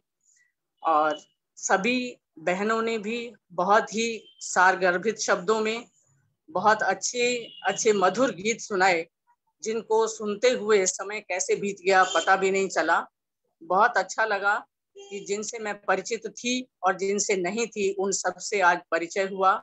मैं सबका अपने तहे दिल से उनका भी धन्यवाद करती हूँ और अपने आप को सौभाग्यशाली मानती हूँ कि घर बैठे इस टेक्नोलॉजी के थ्रू और अनिल जी के प्रयास के थ्रू हम इस तरह से आपस में जुड़े और एक दूसरे को जान पाए, एक दूसरे से ज्ञान वर्धन कर पाए। ये भी बहुत सौभाग्य से मिलता है। हम इसके लिए बहुत ही सौभाग्यशाली हैं। ईश्वर करे इसी तरह से ये कार्यक्रम जिस तरह से आज भी मैं देख रही हूँ, बहुत सुंदर तरीके से चला और इसका श्रेय श्रोतागणों को भी उतना ही जाता है जितना अनिल जी को जाता है। अनिल जी ने रास्ता दिखाया और हम उस रास्ते पे चलते हुए मिल करके आगे बढ़ने का प्रयास कर रहे हैं। जैसा सभी ने प्रभु से संबंधित गीत गाए, माता जी ने भी प्रभु को कैसे पाना है, कैसे हमें मोक्ष प्राप्त करना है, रास्ता बहुत लंबा है। जो उन्होंने बताया, वास्तव में रास्ता बहुत लंबा है।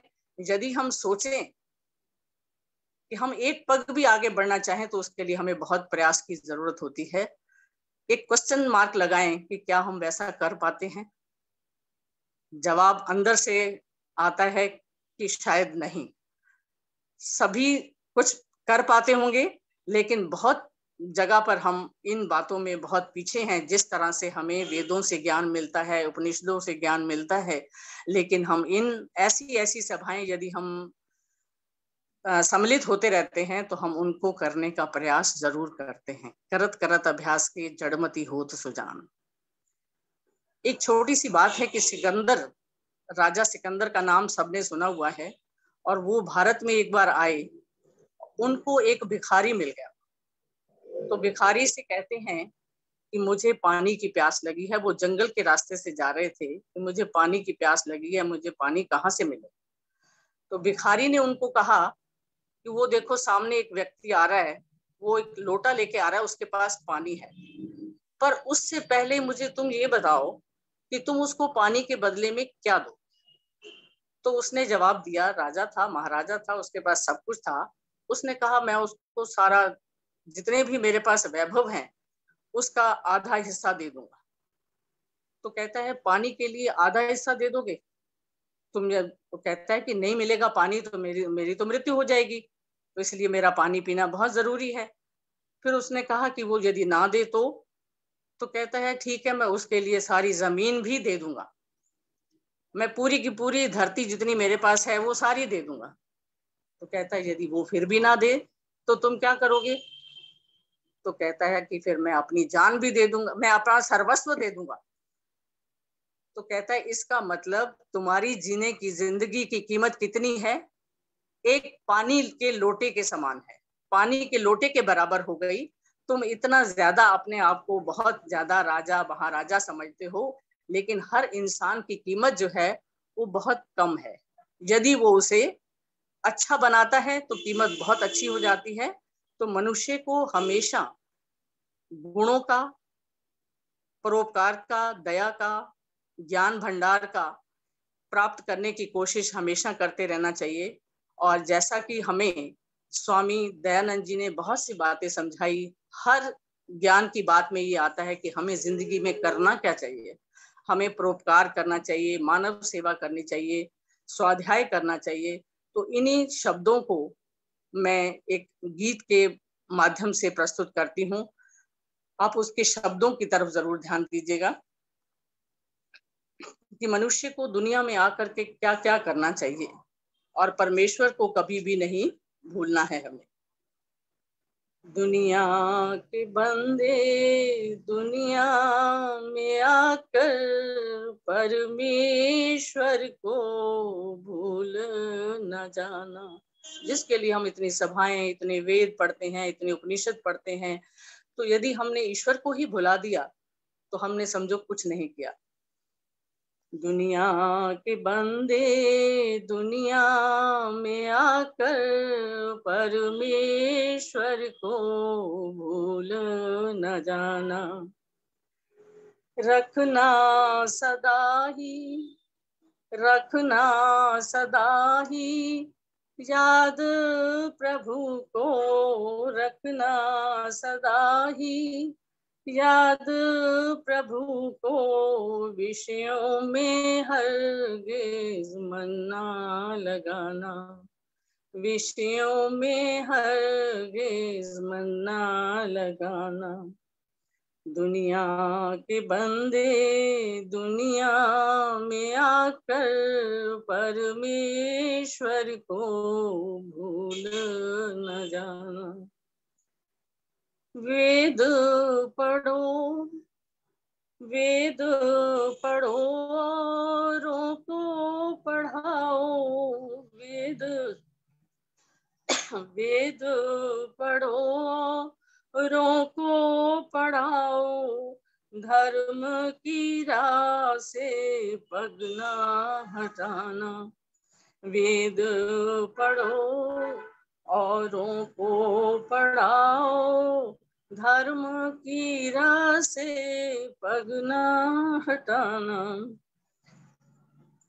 काम किसी के आता नहीं जो काम किसी के, आता नहीं जो दुखियों के दुखड़े मिटाता नहीं जो। भूखे को भोजन, भूखे को भोजन खिलाता नहीं जो।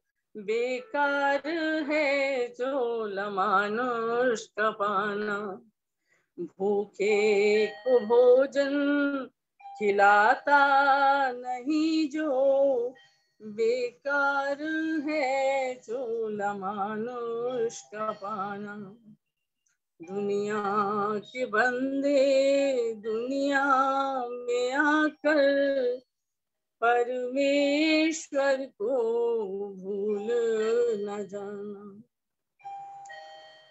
अंत समय तेरा जब आ जाए, अंत समय तेरा जब आ जाए, निकलेगी मुँह से तेरे हाय हाय। अपना भी होगा गाफिल फजाना अपना भी होगा। गाफिल फजाना परमेश्वर को भूल न जाना।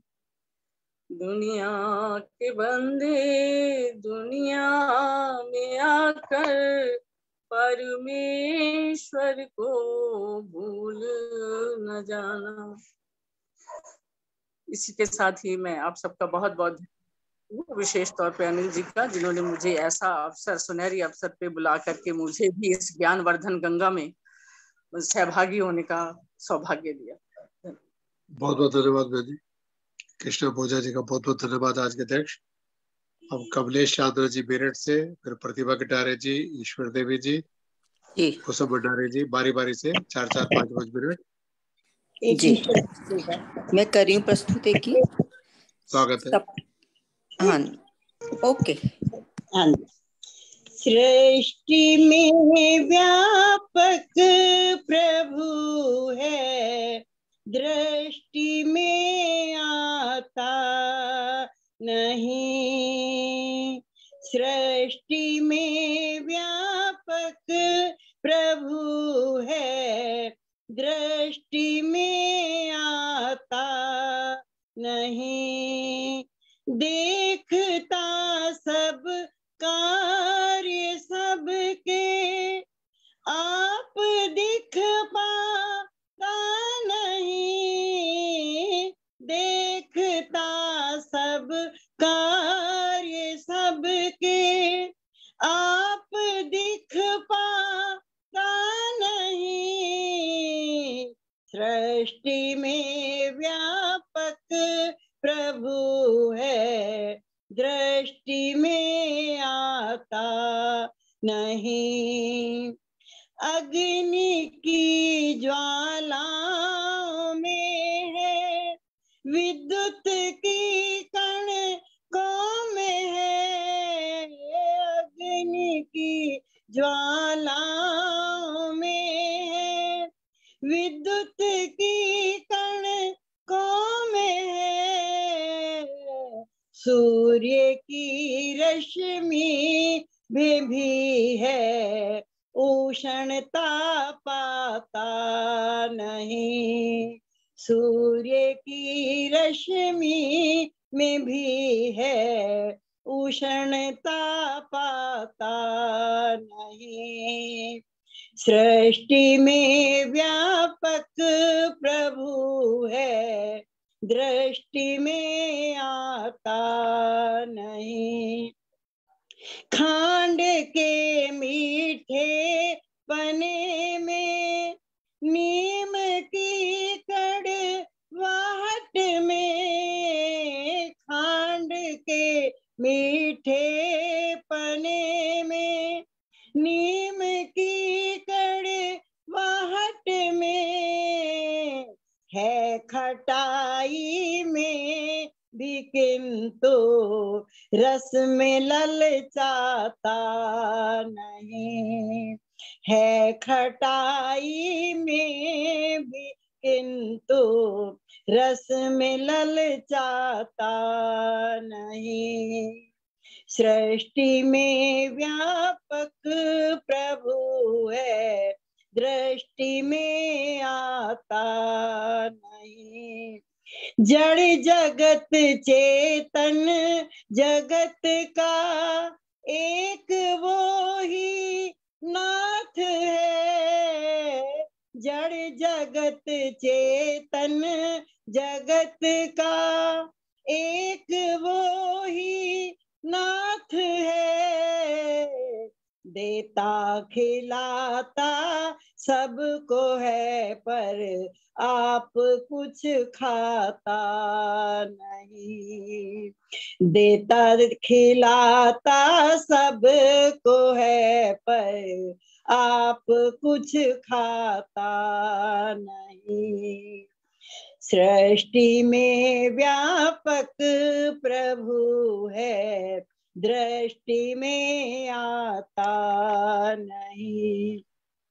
जल चरों को, थल चरों को, नभ चरों को, रात दिन जल चरों को, थल चरों को, नभ चरों को रात दिन रचता टिकाता है सभी को, खुद रचा जाता नहीं। रचता टिकाता है सभी को, खुद रचा जाता नहीं। सृष्टि में व्यापक प्रभु है दृष्टि में आता नहीं। दूध में घृत की तरह और तिलों में है तिल सा। दूध में घृत की तरह और तिलों में है तिल सा।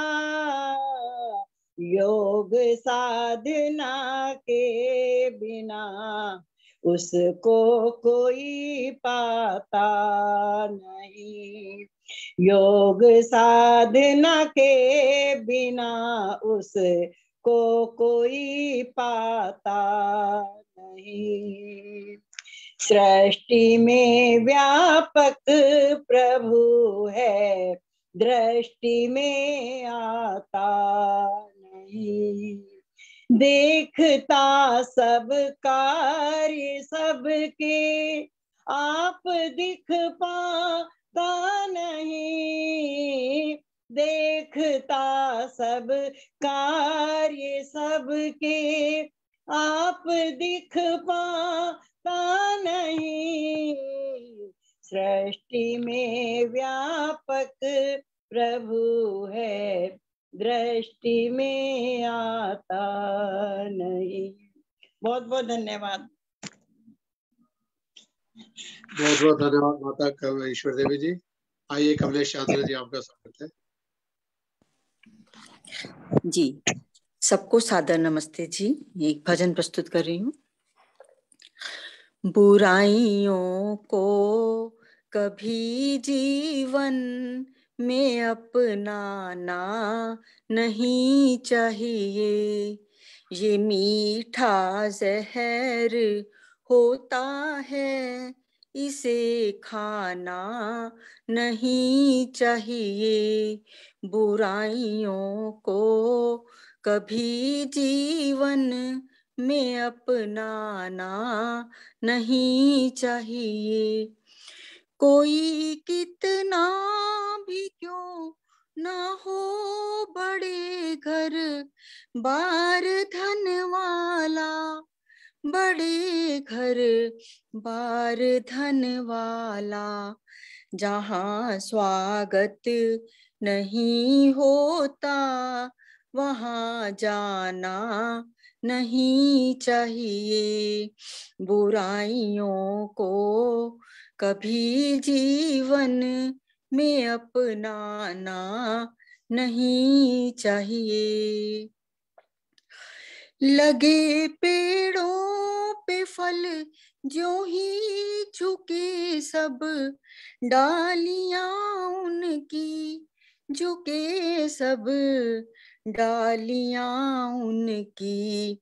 यहाँ ऐश्वर्य को पाकर के इतराना नहीं चाहिए। बुराइयों को कभी जीवन में अपनाना नहीं चाहिए। अगर कुछ दे नहीं सकते तो कह दो, माफ़ कर बाबा तो कह दो। माफ़ कर बाबा, मगर दुत्कार कर याचक को लौटाना नहीं चाहिए। बुराइयों को कभी जीवन में अपनाना नहीं चाहिए। निरादर से मिले दौलत जमाने की तो मत छूना, जमाने की तो मत छूना। मिले जो प्रेम से तिल भी तो ठुकराना नहीं चाहिए। पड़ा भट्टी में जब सोना पथिक वो बन गया कुंदन, पथिक वो बन गया कुंदन। प्रभु जब कष्ट देता है तो घबराना नहीं चाहिए बुराइयों को। कभी जीवन में अपनाना नहीं चाहिए। ये मीठा जहर होता है इसे खाना नहीं चाहिए। धन्यवाद जी अनिल भैया समय देने के लिए बहुत बहुत बहुत बहुत धन्यवाद। कमलेश भंडारी जी मेरठ से अब प्रतिभा कटारी जी आएँगी। फिर एक दो लोग और फिर सात बजे शांति पाठ। मंच पर उपस्थित आदरणीय डॉक्टर अनिल आर्य जी, सभागार में उपस्थित भद्रजन, उपस्थित मातृशक्ति। प्यारी बहनों तथा प्यारे भाइयों को मेरी सादर नमस्ते। मेरा नाम प्रतिभा है। अभी मैं आपके समक्ष महर्षि दयानंद जी की जीवनी का एक प्रेरणात्मक प्रसंग प्रस्तुत करने जा रही हूँ। ईश भक्ति से मिली शक्ति थी। दयानंद को जीवन में योग शक्ति की शक्ति से ही तेजस्वी थे तन मन में। स्वामी जी की आध्यात्मिक शक्तियों को देखकर इनके प्रेमी जन दंग रह जाया करते थे। एक दिन प्रयाग में राय बहादुर पंडित सुंदर लाल जी अपने मित्रों को लेकर स्वामी जी के पास गए। स्वामी जी, उस समय ध्यान में मग्न थे, इसलिए वह चुप बैठे रहे। कोई आध घंटे बाद महाराज भीतर से बाहर आए, उन सब सज्जनों ने झुककर स्वामी जी को प्रणाम किया। इस समय स्वामी जी आप ही, आप हंस रहे थे। पंडित सुंदरलाल जी ने पूछा स्वामी जी आप किस बात पर हंस रहे हैं?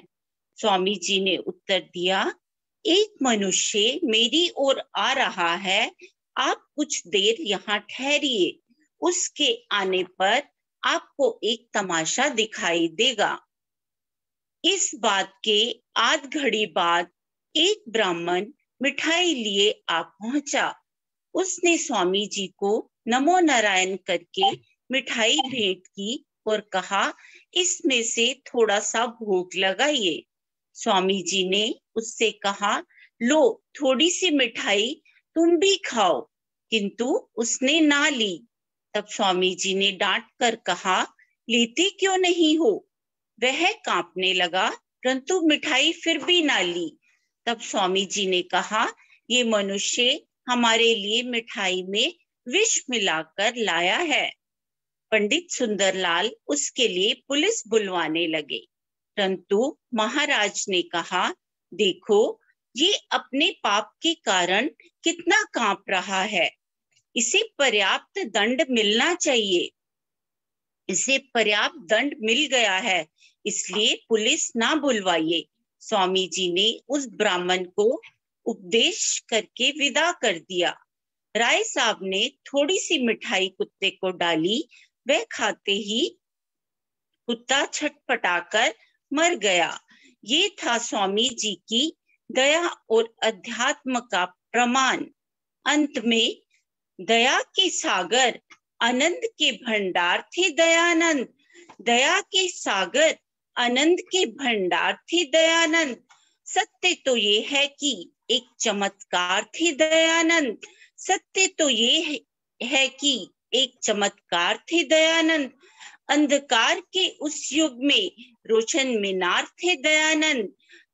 अंधकार के उस युग में रोशन मीनार थे दयानंद। मानवता जिस पे गर्व करे, ऐसे निखार थे दयानंद। मानवता जिस पे गर्व करे, ऐसे निखार थे दयानंद।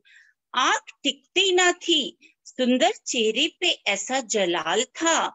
आँख टिकती ना थी, सुंदर चेहरे पे ऐसा जलाल था। मानो बदन से फूट रहा चाँद की किरणों का जाल था। मानो बदन से फूट रहा चाँद की किरणों का जाल था। धन्यवाद भैया समय देने के लिए। बहुत बहुत धन्यवाद प्रतिभा जी बहुत सुंदर तैयारी करती है। आइए गौसम भंडारी जी बहुत देर हो गई। स्वागत है आपका। आपने मेरे को बुलाया है भाई साहब? हाँ इसके बाद आप पहले कुसुम जी फिर कमनाथ जी फिर शांति पाठ करेंगे। जी, सभी को नमस्ते। आइए टंकारा की गलियों में चलते हैं, जहाँ शिवरात्रि के ऊपर ये भजन जाए, गाए जाते हैं। भारत का कर गया बेड़ा पार, वो मस्ताना योगी। भारत का कर गया बेड़ा पार, वो मस्ताना योगी। सोतों को कर गया फिर बेजार, वो मस्ताना योगी। सोतों को कर गया फिर बेजार, वो मस्ताना योगी। ईंट और पत्थर खाए, गोली से ना घबराए। घातक से कर गया अपने यार, वो मस्ताना योगी। घातक से कर गया अपने प्यार, वो मस्ताना योगी। भारत का कर गया बेड़ा पार, वो मस्ताना योगी। भूले थे वेद की वाणी करते थे, सब मनमानी वेदों का कर गया फिर प्रचार, वो मस्ताना योगी। वेदों का कर गया फिर प्रचार, वो मस्ताना योगी। भारत का कर गया बेड़ा पार, वो मस्ताना योगी। विधवा उधार करके, शुद्धि प्रचार करके दलितों पर कर गया फिर उपकार वो मस्ताना योगी दलितों पर कर गया फिर उपकार वो मस्ताना योगी भारत का कर गया बेड़ा पार वो मस्ताना योगी कोई शुभ काम ना था प्रीति का नाम ना था कैसी बहा गया प्रेम की धार वो मस्ताना योगी कैसी बहा गया प्रेम की धार वो मस्ताना योगी। भारत का कर गया बेड़ा पार वो मस्ताना योगी। पापी थे पाप करते ईश्वर से ना थे डरते। जड़ से मीटा गया अत्याचार वो मस्ताना योगी। जड़ से मीटा गया अत्याचार वो मस्ताना योगी। भारत का कर गया बेड़ा पार, वो मस्ताना योगी। वेदों की रक्षा करके अपना सत्यार्थ रच के जाति का कर गया हल्का भार, वो मस्ताना योगी। जाति का कर गया हल्का भार, वो मस्ताना योगी। भारत का कर गया बेड़ा पार, वो मस्ताना योगी। सोतों को कर गया फिर बेजार वो मस्ताना योगी। बहुत बहुत धन्यवाद कुशल भंडारी जी। आप कमलनाथ जी आज विकासपुरी से धर्मवीर सेठी जी भी जुड़ी हैं डीएवी के अधिकारी गुड़गावा से और संध्या पांडे जी में कृष्णनगर से। आइए कमलास जी। हाँ जी हाँ जी। ओम भूर्भुवा स्वाहा तत्सवितुर्वरेण्यं भर्गो देवस्य धीमहि, धियो यो न प्रचोदया। मैं ईश्वर भक्ति का गीत रख रही जिसने दिल से पुकारा, उसे प्यार मिल गया। जिसने दिल से पुकारा, उसे प्यार मिल गया। प्रभु मिल गया तो जीने का अधिकार मिल गया, जिसने दिल से पुकारा, उसे प्यार मिल गया। जग ने सताया, बहुत तड़फाया, हराया, धमकाया, रुलाया। जग ने सताया, बहुत तड़फाया, हराया, धमकाया, रुलाया। टूटी किस्ती ना सांझी कोई किनारा था।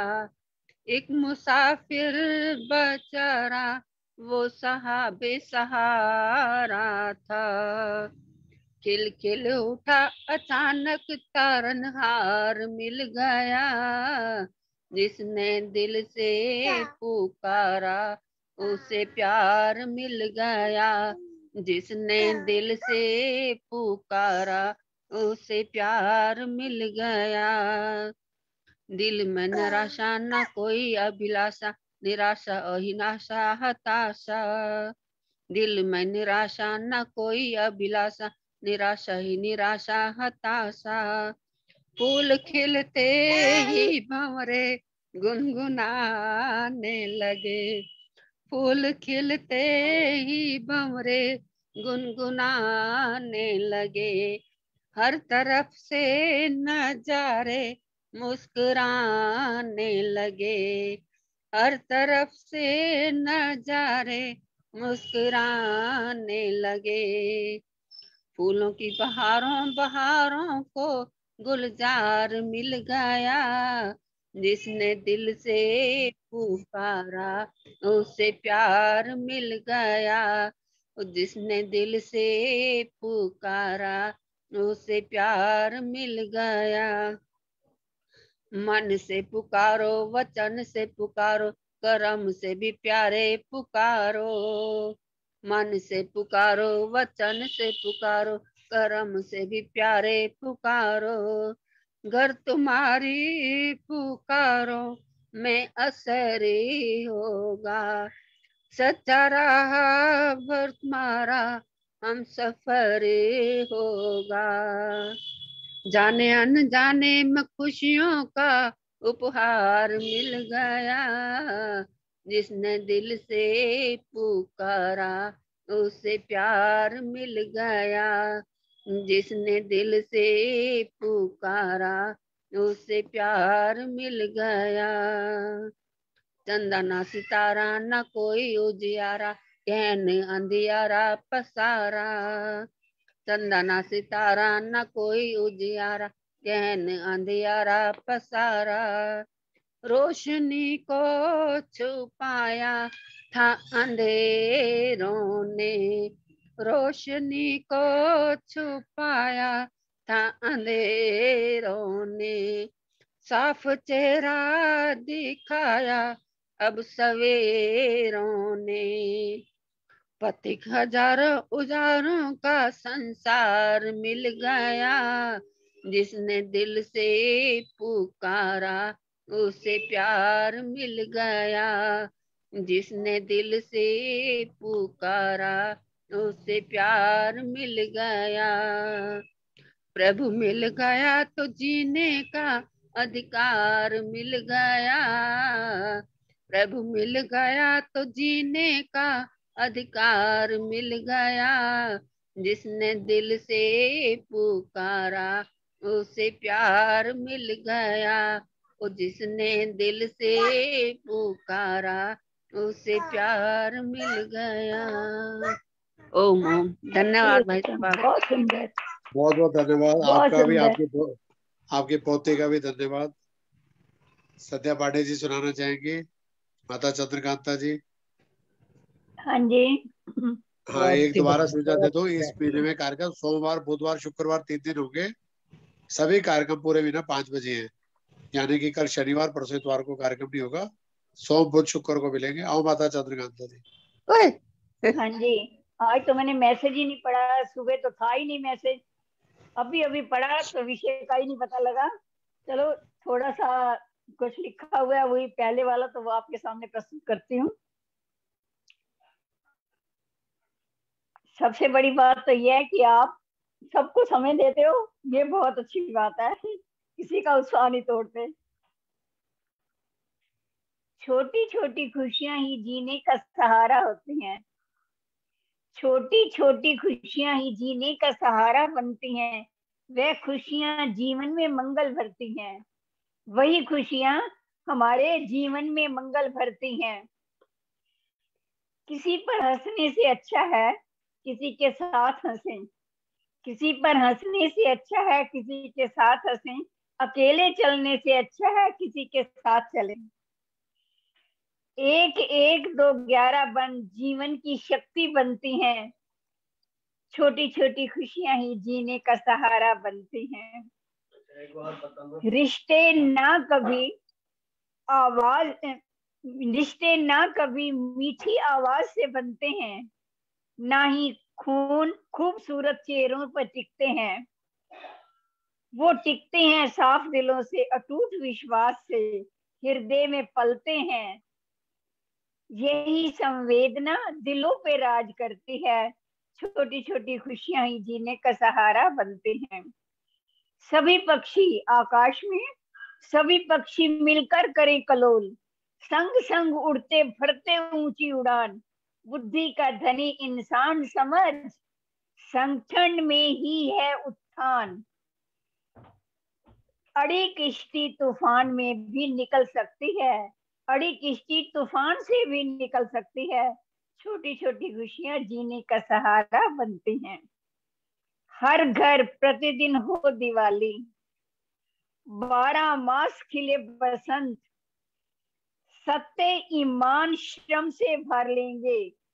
सत्य ईमान श्रम से भर लोगे, अपने जीवन में रंग अनंत। कभी मायूस ना हो, कभी ना मायूस होकर इरादे मत बदलो। कभी मायूस होकर इरादे मत बदलो, तकदीर किसी वक्त भी बदल सकती है। छोटी छोटी खुशियाँ जीने का सहारा बनती हैं। छोटी छोटी खुशियाँ जीने का सहारा बनती हैं। धन्यवाद वीर जी। माता चंद्रकांत आर्य जी का बहुत बहुत धन्यवाद। आपको चलते चलते रह गया तो आज इच्छा पूरी कर ले। फिर सोमवार मिलेंगे, बुधवार मिलेंगे, शुक्रवार मिलेंगे।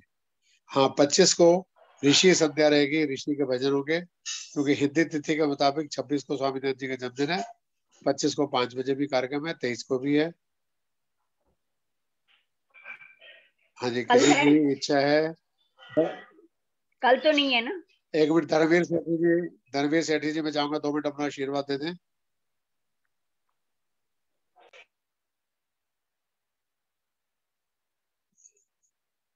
अनंत प्रकाश जी आप से कुछ कहना चाहेंगे? आनंद जी से इतने कहूँगा कि योगी को मज़बूत बनाएँ अधिक से अधिक सहयोग प्रदान करें। धन्यवाद धन्यवाद। राष्ट्रवाद ज़िंदा रहे। धन्यवाद राष्ट्रीय अध्यक्ष डॉक्टर अनिल जी।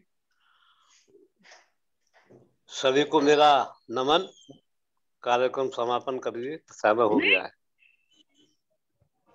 मैं निवेदन इतना है प्रांतीय देखिए योगी जी को मज़बूत बनाए और भारी बहुमत से जिताएँ। हमारी यही अपील है आह्वान है निमंत्रण है। हम हम तो मज़बूत बना चुके हमारे यहाँ तो समापन हो चुका है। और नहीं नहीं आप प्रांत की बात कर रहे हो की बात नहीं कर रहे तो नहीं मैं वैसे वैसे उम्मीद तो यही है कि आपकी जो इच्छा है वो पूर्ण करेगा इस पर ज़रूर सभी की इच्छा है वो। राष्ट्रवादी शक्तियाँ मज़बूत हो। चलो प्रवीत जी हैं जुड़े हुए शांति पाठ कराने के लिए। आइए प्रवीत जी हैं आप।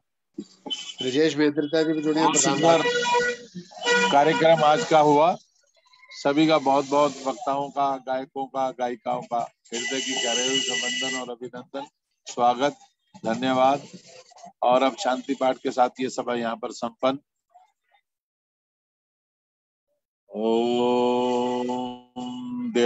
शान्तिरन्तरिक्षध्वं शांति पृथिवी शान्तिरापा शान्तिरौषधया शान्तिः वनस्पतय। शान्तिर्विश्वे देवा। शान्ति ब्रह्म शान्ति सर्वद्वम् शान्ति शान्तिरेव शान्ति। साम शान्तिरेधि ॐ शान्ति। शान्ति शान्ति जो बोले सो अभय सत्य सनातन वैदिक धर्म की जय। जगत गुरु महर्षि दयानंद की जय। गुरुवर विरजानंद जी महाराज की जय। देश और धर्म पर बलिदान होने वाले वीर और वीरांगनाओं की जय। भारत माता की जय। गौ माता का पालन हो। मर्यादा पुरुषोत्तम श्री राम की जय। योगेश्वर श्री कृष्ण की जय। सभी को सादर नमस्ते। सभी को सादर नमस्ते। बहुत बहुत धन्यवाद। जो लिंक आज का कार्यक्रम का पूरा महीना यही चलेगा। तो लिंक मिले ना मिले इंतज़ार ना करिए। सोमवार बुधवार शुक्रवार शाम पाँच बजे मिलते हैं। बहुत बहुत धन्यवाद। सभी को नमस्ते जी। नमस्ते जी नमस्ते जी।